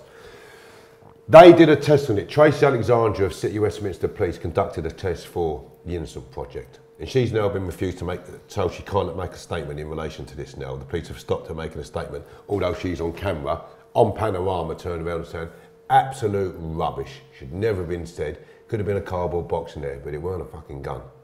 So the jury had been told I've gripped a gun inside that bag and I'm gripping it on my print. And they conducted test panorama and said, what a load of cobs will look. Also, subsequently to that, we found out that the expert who gave the evidence for the Crown wasn't even qualified to do so. But if you're a jury member and you think, You're listening to the expert. Live to and the you're to the evidence that says there was a gun in the bag. gun in bag, you think, what's he doing gripping a gun in the bag? The just- same gun that the deceased was killed with. Just those two things. Oh, bollocks! You can't second guess what each jury member would have found. That's the point of law. It used to be called Pendleton. It's changed now. There's, a, there's one that's uh, uh, superseded that. Nonetheless, you cannot go back all those years and guess what each jury member would have made of that. That makes my conviction unsafe because it's just damaging. That. Yeah, just that. But also, you've got to bear this in mind. Spackman stopped my solicitor after the first trial in the corridor and told him the split of the jury in the first trial. He said it was eight to four. Was it eight in my favour or eight against? However, what goes on in the jury room is sacrosanct. You're not meant to know. Everything stays in there. He knew as soon as they, they, they, they'd come back with a hung jury. Literally. Now, I've been told that's not a, an appeal point either by the Criminal Cases Review Commission. But anyway, we're going to lodge my application to the CCRC based on the Panorama programme.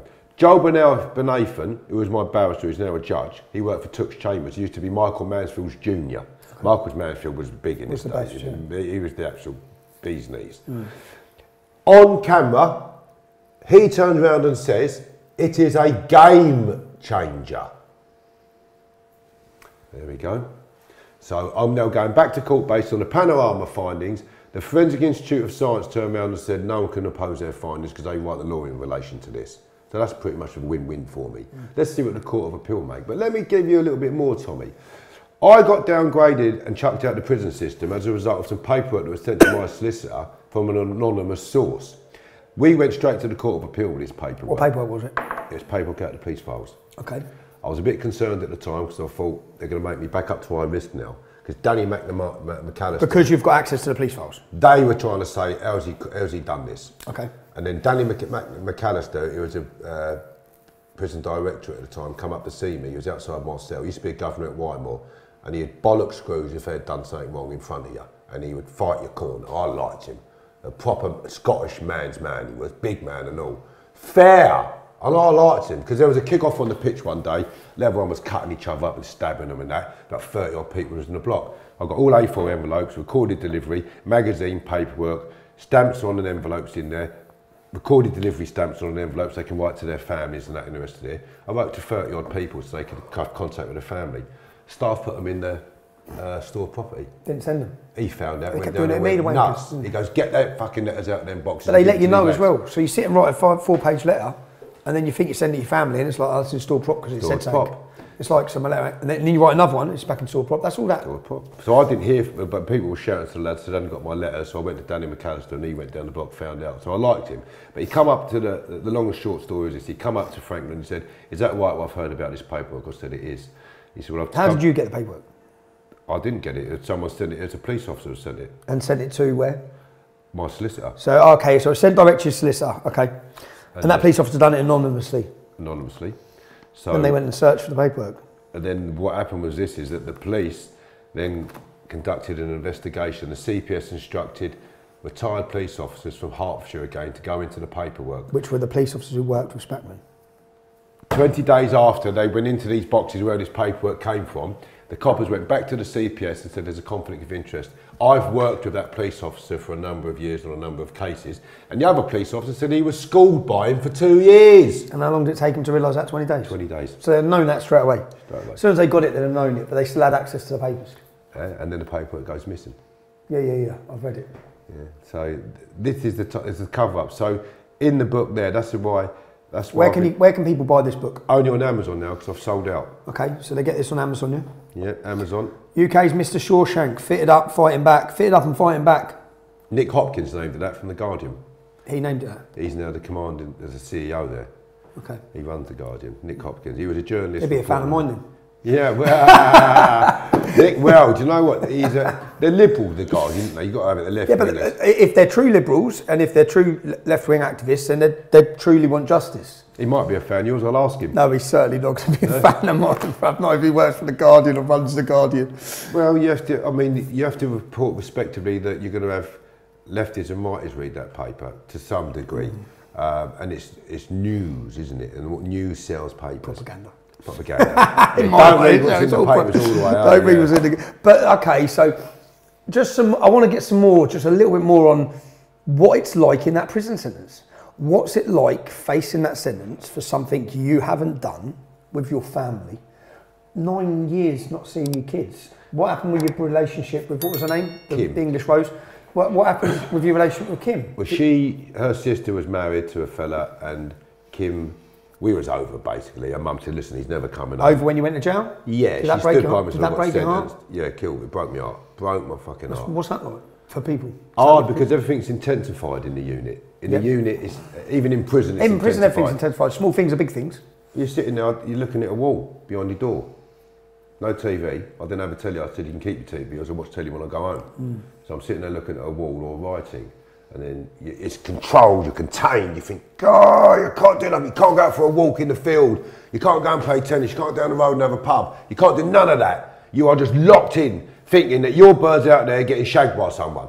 Yeah, yeah, that's reality. That's reality, okay? And someone's bringing up your kids, your kids that you should be bringing up, that you didn't have a dad, because your dad uh, split up with your mum and then your dad died years later. Um, and that is hard. Uh, it's very difficult for me. And then she met someone, one man, and still married to him today, John. A good man, That's uh, what, what I was going to say. That's what would matter. Was he a good man? Good man, Good- good, good to to my children. boys. Yeah, yeah. One of my boys rebelled because you, you, you get that Of course. fighting for your dad's corner. But uh, yeah, he was good, a good man. That still break uh, your heart now. Thinking about it now. Thinking about what your life could have been, should have been. He, I don't think of it like that. I try not to because life shuffles the cards and we play. And you've got to play with the best hand you're dealt, Tom, ain't you? And remember, Pat Purcell says to me, Kevin, do not get bitter because it will change your personality. And I thought, "Do you know what? He said, you've got to make a life for yourself in here. I thought, fuck me, you're right. So I did. And I was always happy anyway, Tommy. I come out of the stairs, was happy, look, oh, lucky. I like to have a laugh. It's my nature. I just love to have a laugh Lads environment. got me through it. I used to get pissed, train, and have a laugh. And that was it, really. Um, but very difficult still, because I met a girl in there, Christian, she's in the book, she was from Potton, and she got killed in a car crash. And that broke my heart. Because I, I knew. That- like? Because lots of when people been in prison, there's lots of girls that write to lads in prison. Oh, Start relationships, loads of them. So loads of lads get into relationships with but I knew Christian women. before I went away from Okay. in Potton, you see. Okay. So Kim separated with me. Christian started writing to me in there, come to visit me, and then she was a bit of an oddbod. She was like uh, dyslexic with dyslexia in her behaviour. So was an oddbod like that as a Yeah, kid, yeah. And then grows up into be a beautiful swan. She was the best shot at cadets. and she could run six minute miles and become an aerobic teacher based on memory, not what she could read and write. And she got 90 or something percent in her exams. And used to teach aerobics in a little village hall. She was happy with that, okay? So I remember going to the phone to phone and she goes, I'm on the way to my mum's, phone me when I get to my mum's. She only had one mate and she used to go out of her family. That was it really.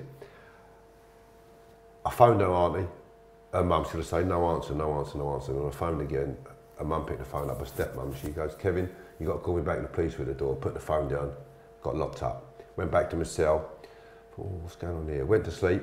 And I remember in the evening, I remember I thought I was having a dream, as if someone had laid into me. Now, you can't make this stuff up. You can't make it up. All right? And I remember someone landing to me like a, a, an outline of a body, like a chalk line, dead line, you know, on the floor. I sat bolt upright, I was sweating, made myself a hot chocolate, sitting there. I went straight out the door, got on the phone in the morning, uh, and a mum said, Kevin, I've got something to you. He said, Christian's dead. And I'd had a dream that she had laid into me that night. So she believed in, she used to go down to church and sit in the graveyard and in the summer and sit in the church, see all the lights coming through and things like that. Yeah, and she got killed. Now, I don't believe in God, and I'll tell you I don't believe in God. I believe in something, but I don't know what it is. Because I don't know anyone who's been around long enough to tell us how this planet started or how we started. Why have they got UFOs in the pyramids, and why have they got inscriptions on stone 600 years before the Bible and the Quran that says UFOs? And why are the, uh, uh, uh, the, the American government reporting on UFOs and saying we've got to tell the public that they was meant to come out last year and No, they're us just they're just letting us know because they're going to stage an alien invasion. No? But say there's got to be someone around. I've gone down the rabbit, rabbit hole. rabbit hole. I've gone down it. But you know what I mean, Tommy. I know what you mean. There's got to be something I believe There's a higher power than us. A higher power than us. So until I meet someone who knows a bit more about it than we do, or what we're being fed, I don't know who I follow. But I believe in something or someone. That's a fact. I do. I believe in spirits. I believe in So what do you believe happened there in that night? I believe that she got killed and come and laid into me. Uh, and I think she's been with me ever since. It's quite bizarre, really. So that was a hard knock to take. How hard? It broke, I'll cry my eyes out.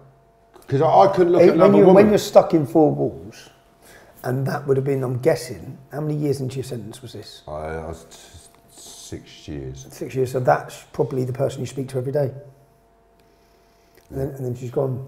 So that's, a, that's another loss. Gone. And she was so sweet, always happy.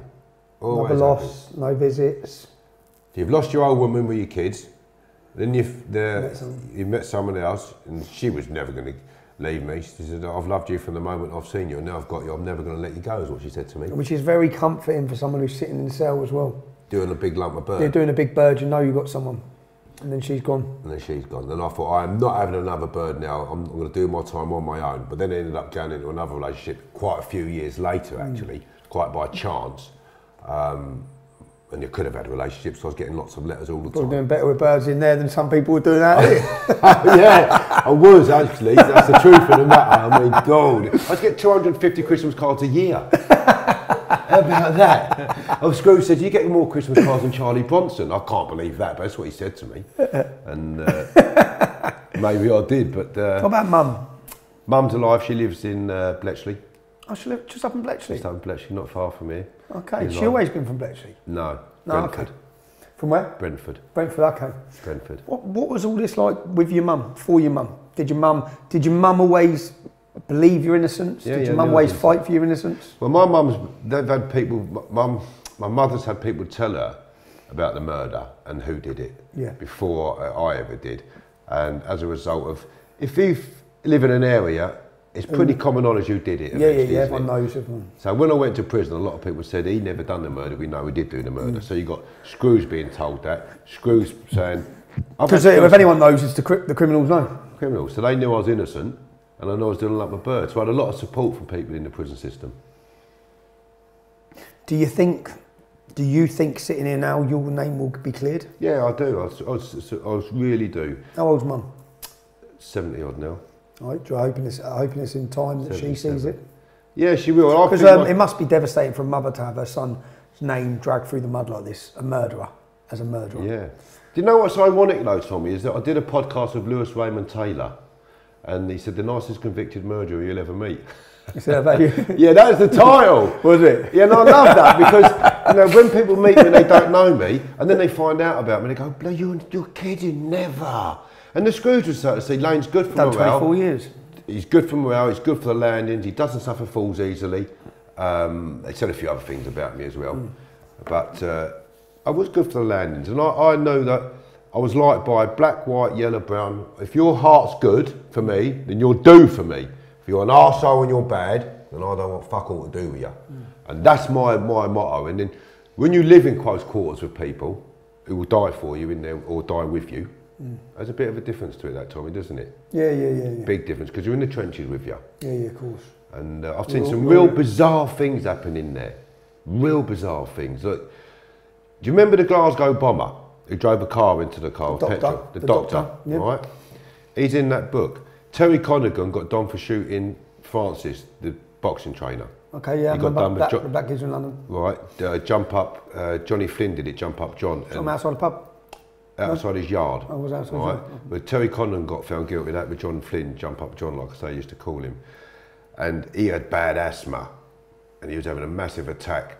And this, this, he's waiting half an hour, and the screws, the healthcare still hasn't come up to him, which is a long time. And he's choking for oxygen.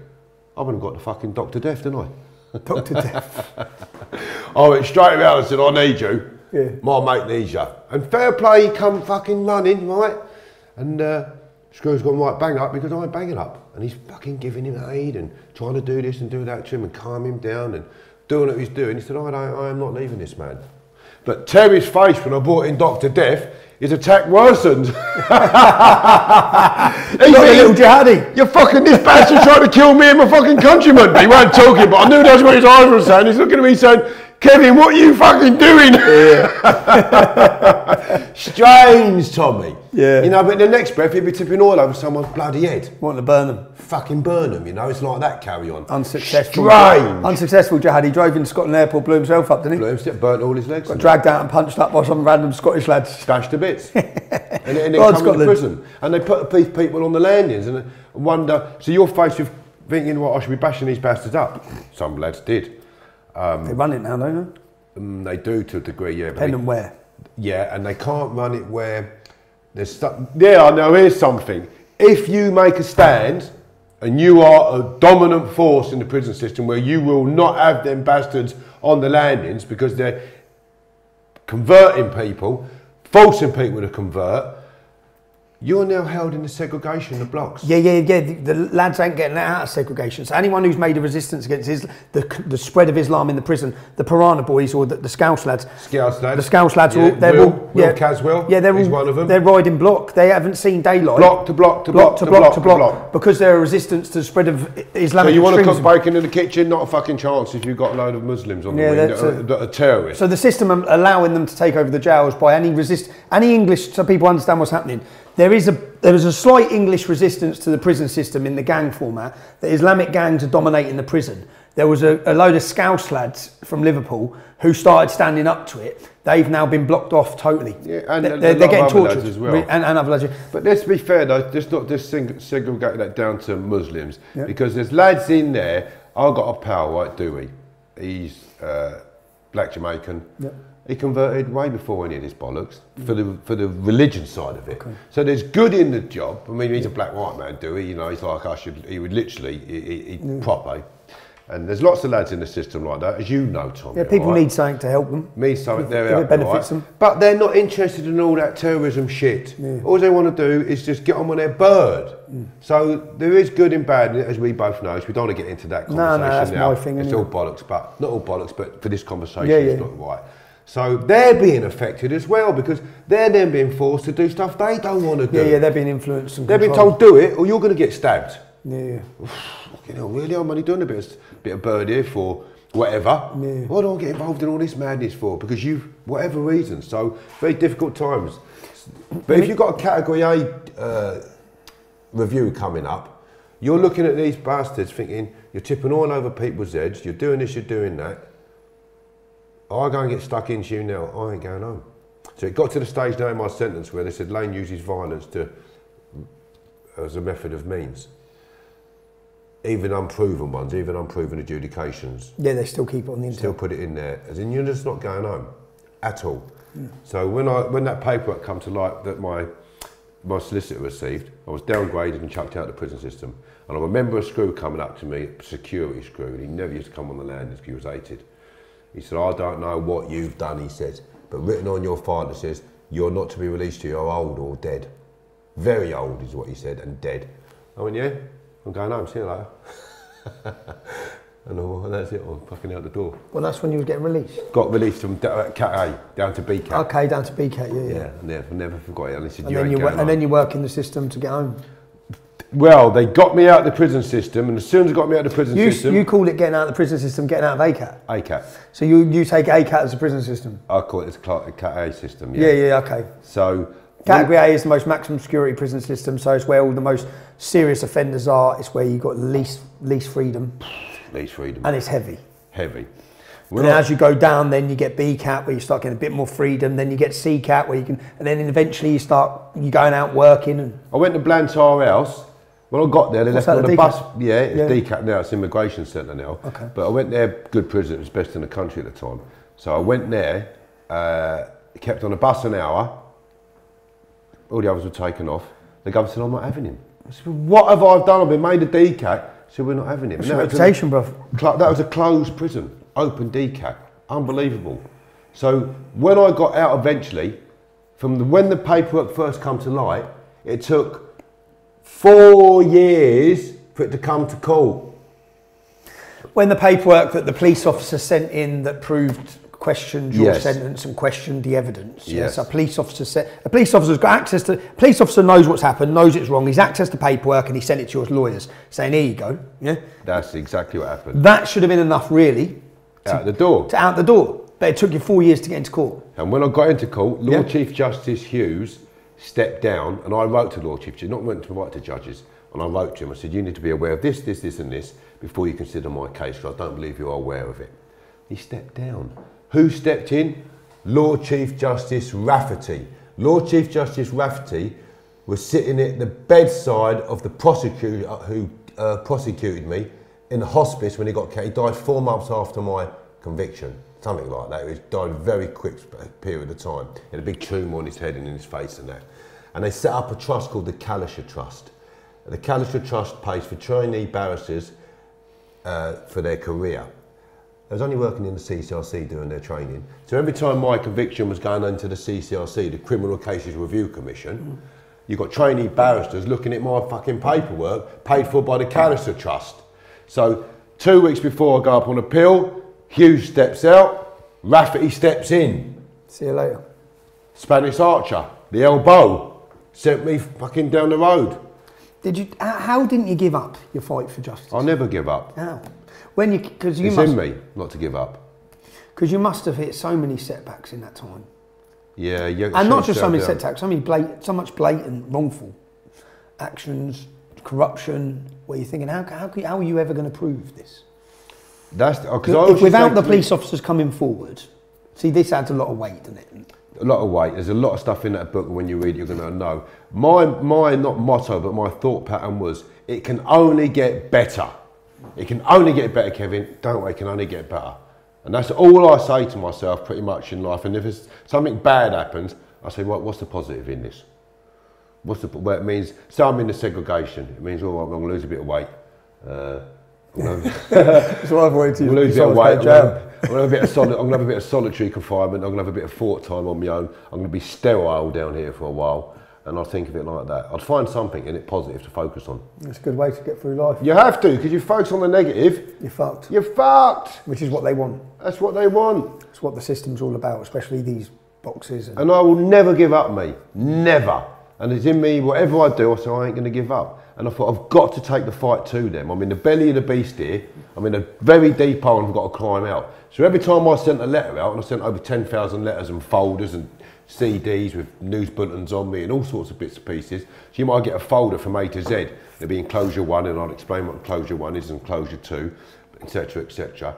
And then I suppose it give you something to focus on as well. focus, uh, I suppose focus it give you something to focus on to get through your bird. to get through your bird. It's give you a total focus. I mean, if you're not worried about your, if you, you're probably worrying about getting an haircut because there was no barbers in the prison who was qualified to cut your hair. Thank you, Adam Swells from Swells Barbers for cutting my hair. you made me look very smart for today. But In Adam. Hillingdon, but Adam. but you had things like silly things that you couldn't even get your hair cut. You had to shave your head when you was in the units. You couldn't have a barber. They wouldn't let a barber in. Why should you have to go through bollocks like that? So you're thinking about madness, distracting you. So the book and fighting my case, uh, uh, Joel Bennathan told me to write the book.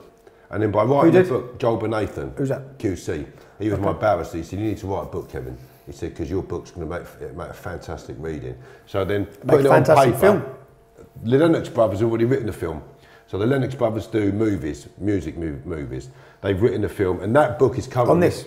Yeah, with that, it's with New Amsterdam. Now here's something. So, as you know, I've done banged up, just flipping it a bit. I've done quite a bit of TV recently, and I've got other TV stuff coming up. Through that, my LinkedIn has gone nuts. Last week, I had Paramount Pictures and Sony Pictures view my profile twice in one week.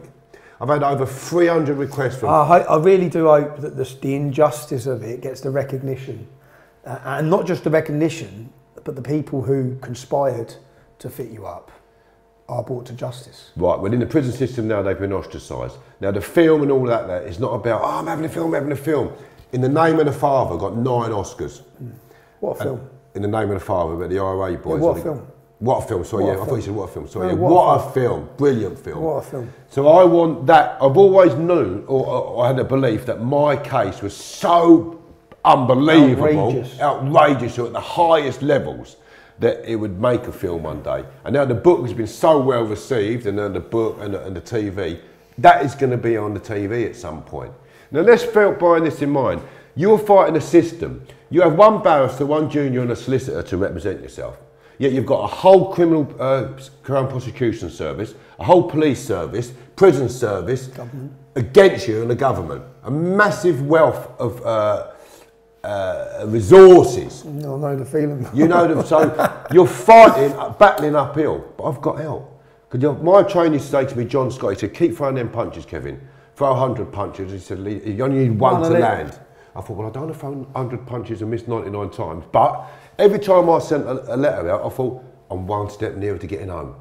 Send that punch out, one step nearer to getting home. And that's what I did. Another letter, another letter, another letter, another letter. That's how I did it. I thought I was throwing punches back home. So when I got a reply out of 100 letters or whatever, I thought, well, that's one step nearer. Tell me when you got out of jail. What year did you get out? Nine, uh, 1995 January. So I spent 20 years in the 15th of January you go out in 2015? and 15. And then what? Because you've said you went on to set up a business. I What, you come out of business. You come out at that age. You're how old? I was 47. With nothing, Nothing. nowhere to go. Yeah, like they. I asked for a flat. They said you ain't getting a flat. You you have got the resources not to be sleeping on someone's floor. Cheeky bastard. So 20 years later, you still got the resources, they believe. I had a bit of money, but not a lot. Nothing, you know. I had a few grand left. Some pals gave me some money. I went to live with Matthew Tate. Matthew Tate was just re- about last year. He used to be Abramovich's personal bodyguard. Okay. He was working for them. Uh, we boxed together. I'm godparent to Fio, Fio, Fiorulo, his daughter. Um, I went to live with, stay with him, and then I went to. Uh, I moved in with an Italian girl called Liliana, lovely girl. Um, and then I got my own place. And then from that, I set up a business called Tommy Cooper's, because my real name's Cooper. Um, my father's name is Cooper. Tommy Cooper's Developments. We build it just like that, leave you with a smile. And they loved it because you're dealing with people who remember Tommy Cooper. Yeah. That went through the roof Doing what? Building. building. I went from doing patios, block paving, to having carpenters and building houses. And Which is mad because you've got none of those skills. I'm a carpenter, but I'm a shit one. okay, yeah. I did my apprenticeship and then jacked that in and went and did sold cars and stuff like that Okay. and went into sales.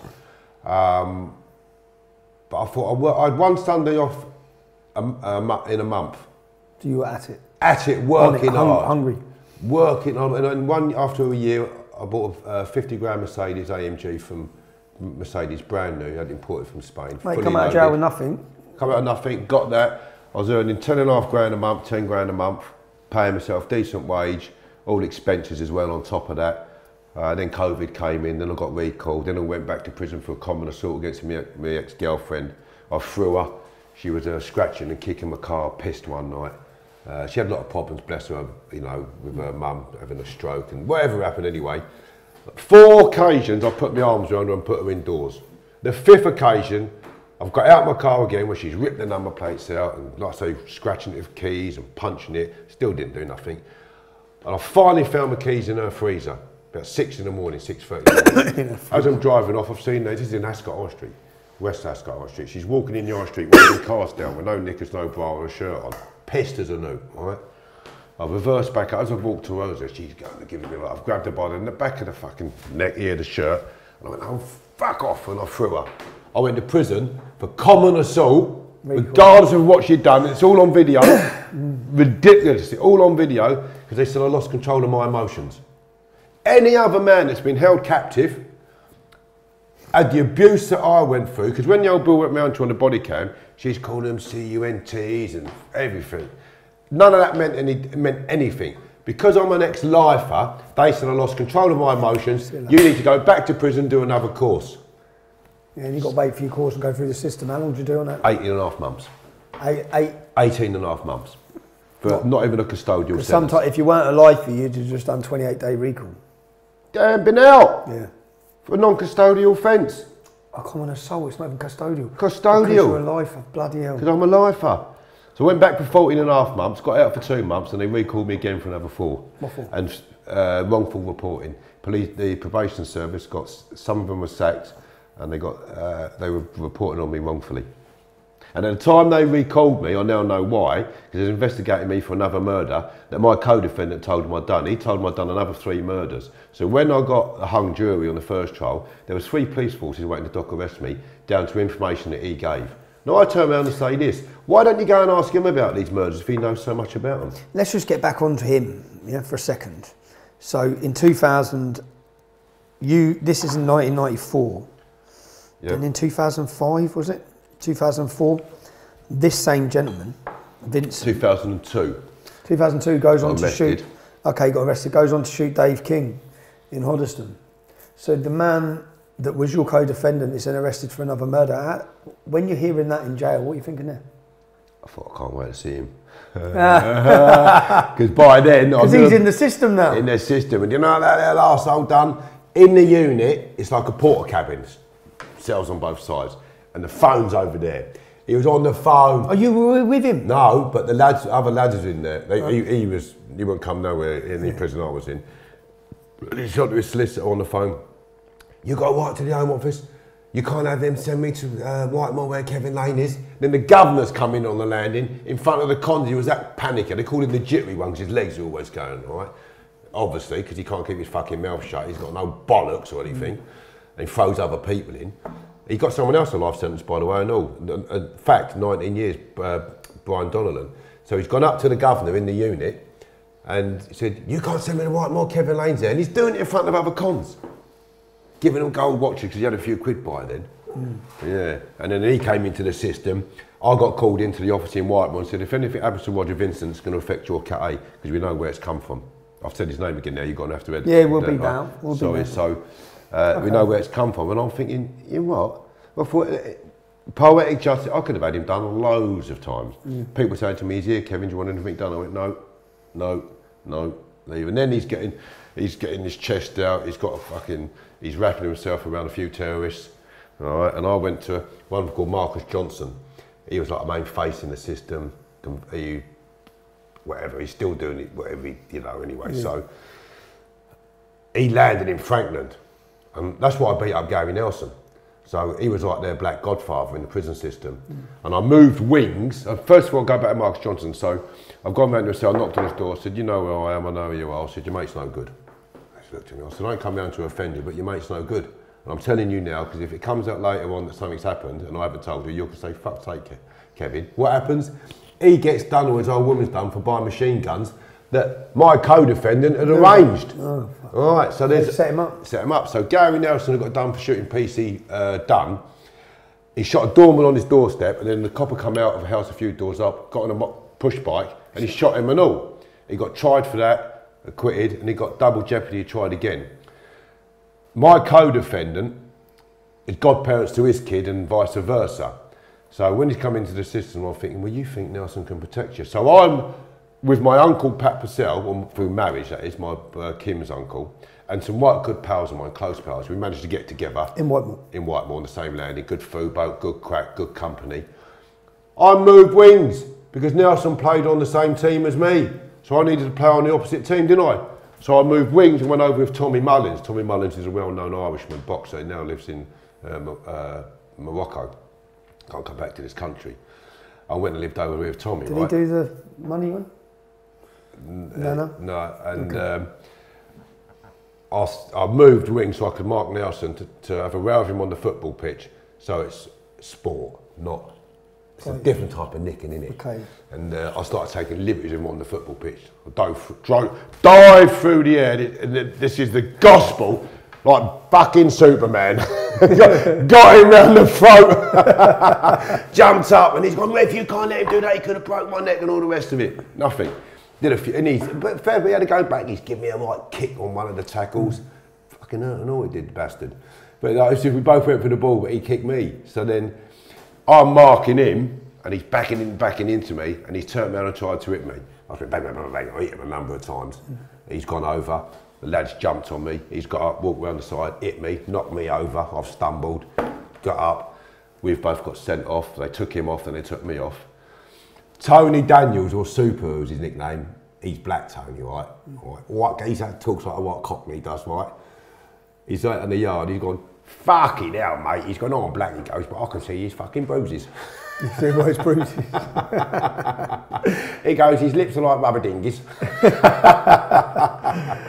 now, there's a black man talking about another black yeah, man, yeah. right? And he's like, but he. I was going to make a comment, but I better not. Why can't you just say things that are funny and, Yeah, I you know, know. and just no harmful? Because that's the black man saying it about yeah. a black man, and we're laughing about it. I said, go and get him out. I want to talk to him. Because Pat Purcell says to me, "You're out of order, Kevin. You set about him just to send a record message back to, to the, my co-defendant." I went, "Yeah, I did." He goes, "You're wrong, Kevin. You shouldn't have done that. You have to apologise to him." And I ain't apologising to him. He said, "Well, if you want to do the right thing," and admit, he said, "That'll be- make a better man of you." So I got hold of Super, get him out. He come out. He's going, you was out of order. I said, yeah, I know I was. He goes, well, apologise then. I went, I apologise. Because I'm looking at you now with dark glasses on, all right?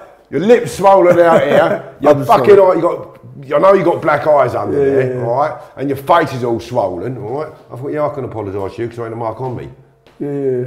And that's it. But, Do you know what I was? Do you know what I'm saying? Thinking is, do you know why you massively need this acquittal?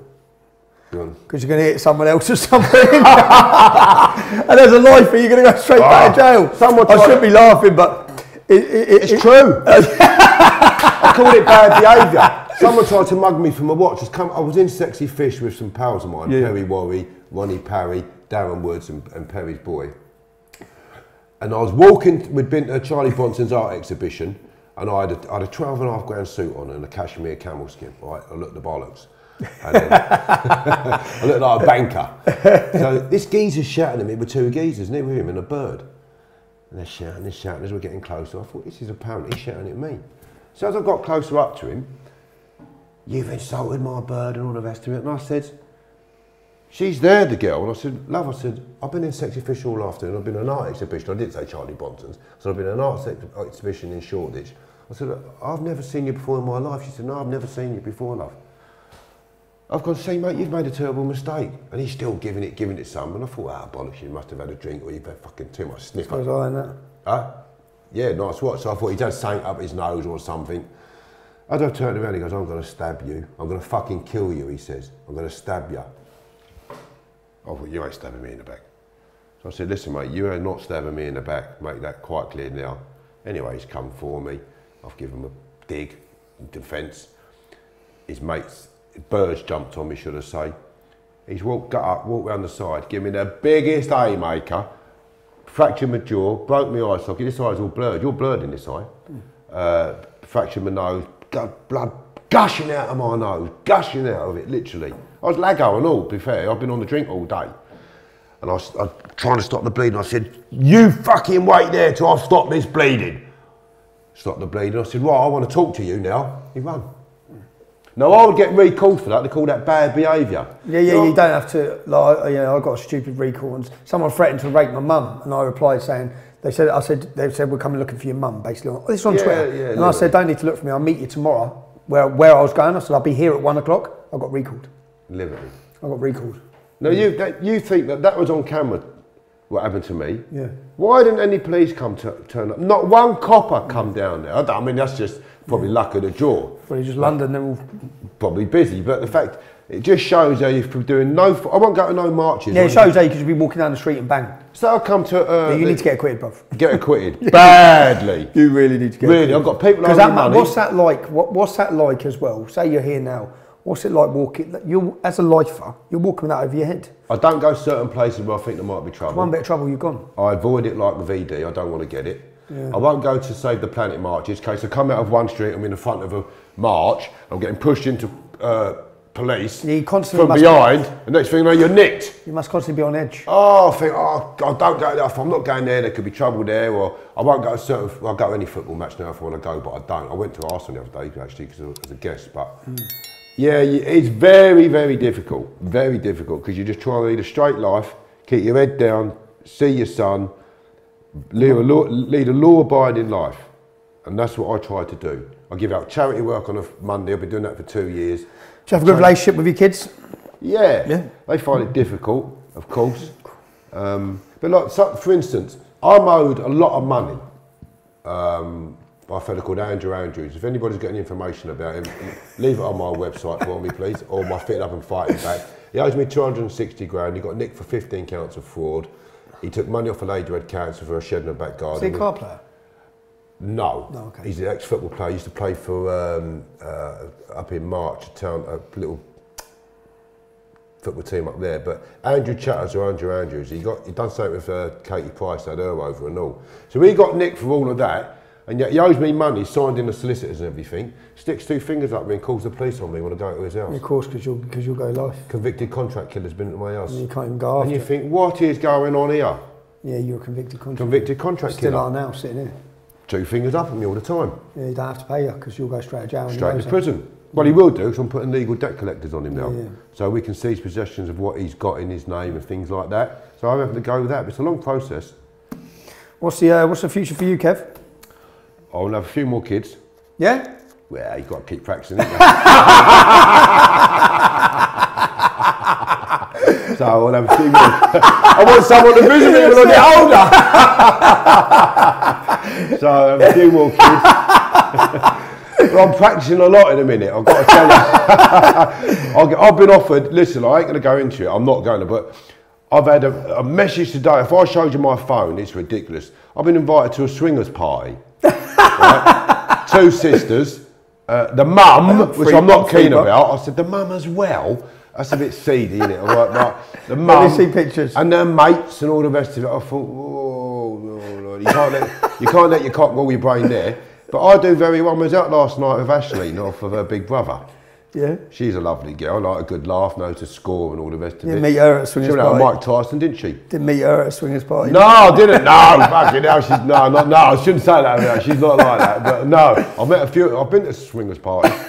As it happens, I nearly went to the. Uh, Mate, you've done 24 years. I mean, Get I- down those swingers parties, I bro. nearly Enjoy went to yourself. Torture, uh, torture chambers the other week. Yeah. I was, I was going to go there. You ever heard of it? No, Torture- no, Look it up. Get in there. right, you know, like the old mask where you put the mask You just want to go back to jail. Well- Okay, that's what, I guess the torture chamber is a bit like being back in the back on the unit. Well, you, except you've got loads of half-naked women walking around. It's like a really good unit. But the old pork dagger gets a bit of action in them. I've got to Probably what you was dreaming about in the unit. Dreaming. I'm not going to do that. I'm going to find myself a nice girl. And so- I mean, I've had some bleeding. I've had a few close shaves with some women, but um, now I'm single again. I just conduct myself respectfully, and I go out with a girl. I say, look, let's just cut all the bullshit. I'm going to do uh, Sheridan's a girl called Sheridan, an Aussie girl. She, my son has horse riding lessons at her farm every two weeks, and uh, he rides a, a, a well-known horse. I can't name the horse on here, but it's famous. This horse. He has horse riding lessons on this horse. But she's going to interview me how to pull a bird, right? And she's going to ask me a load of questions. I'm going to put it up, right?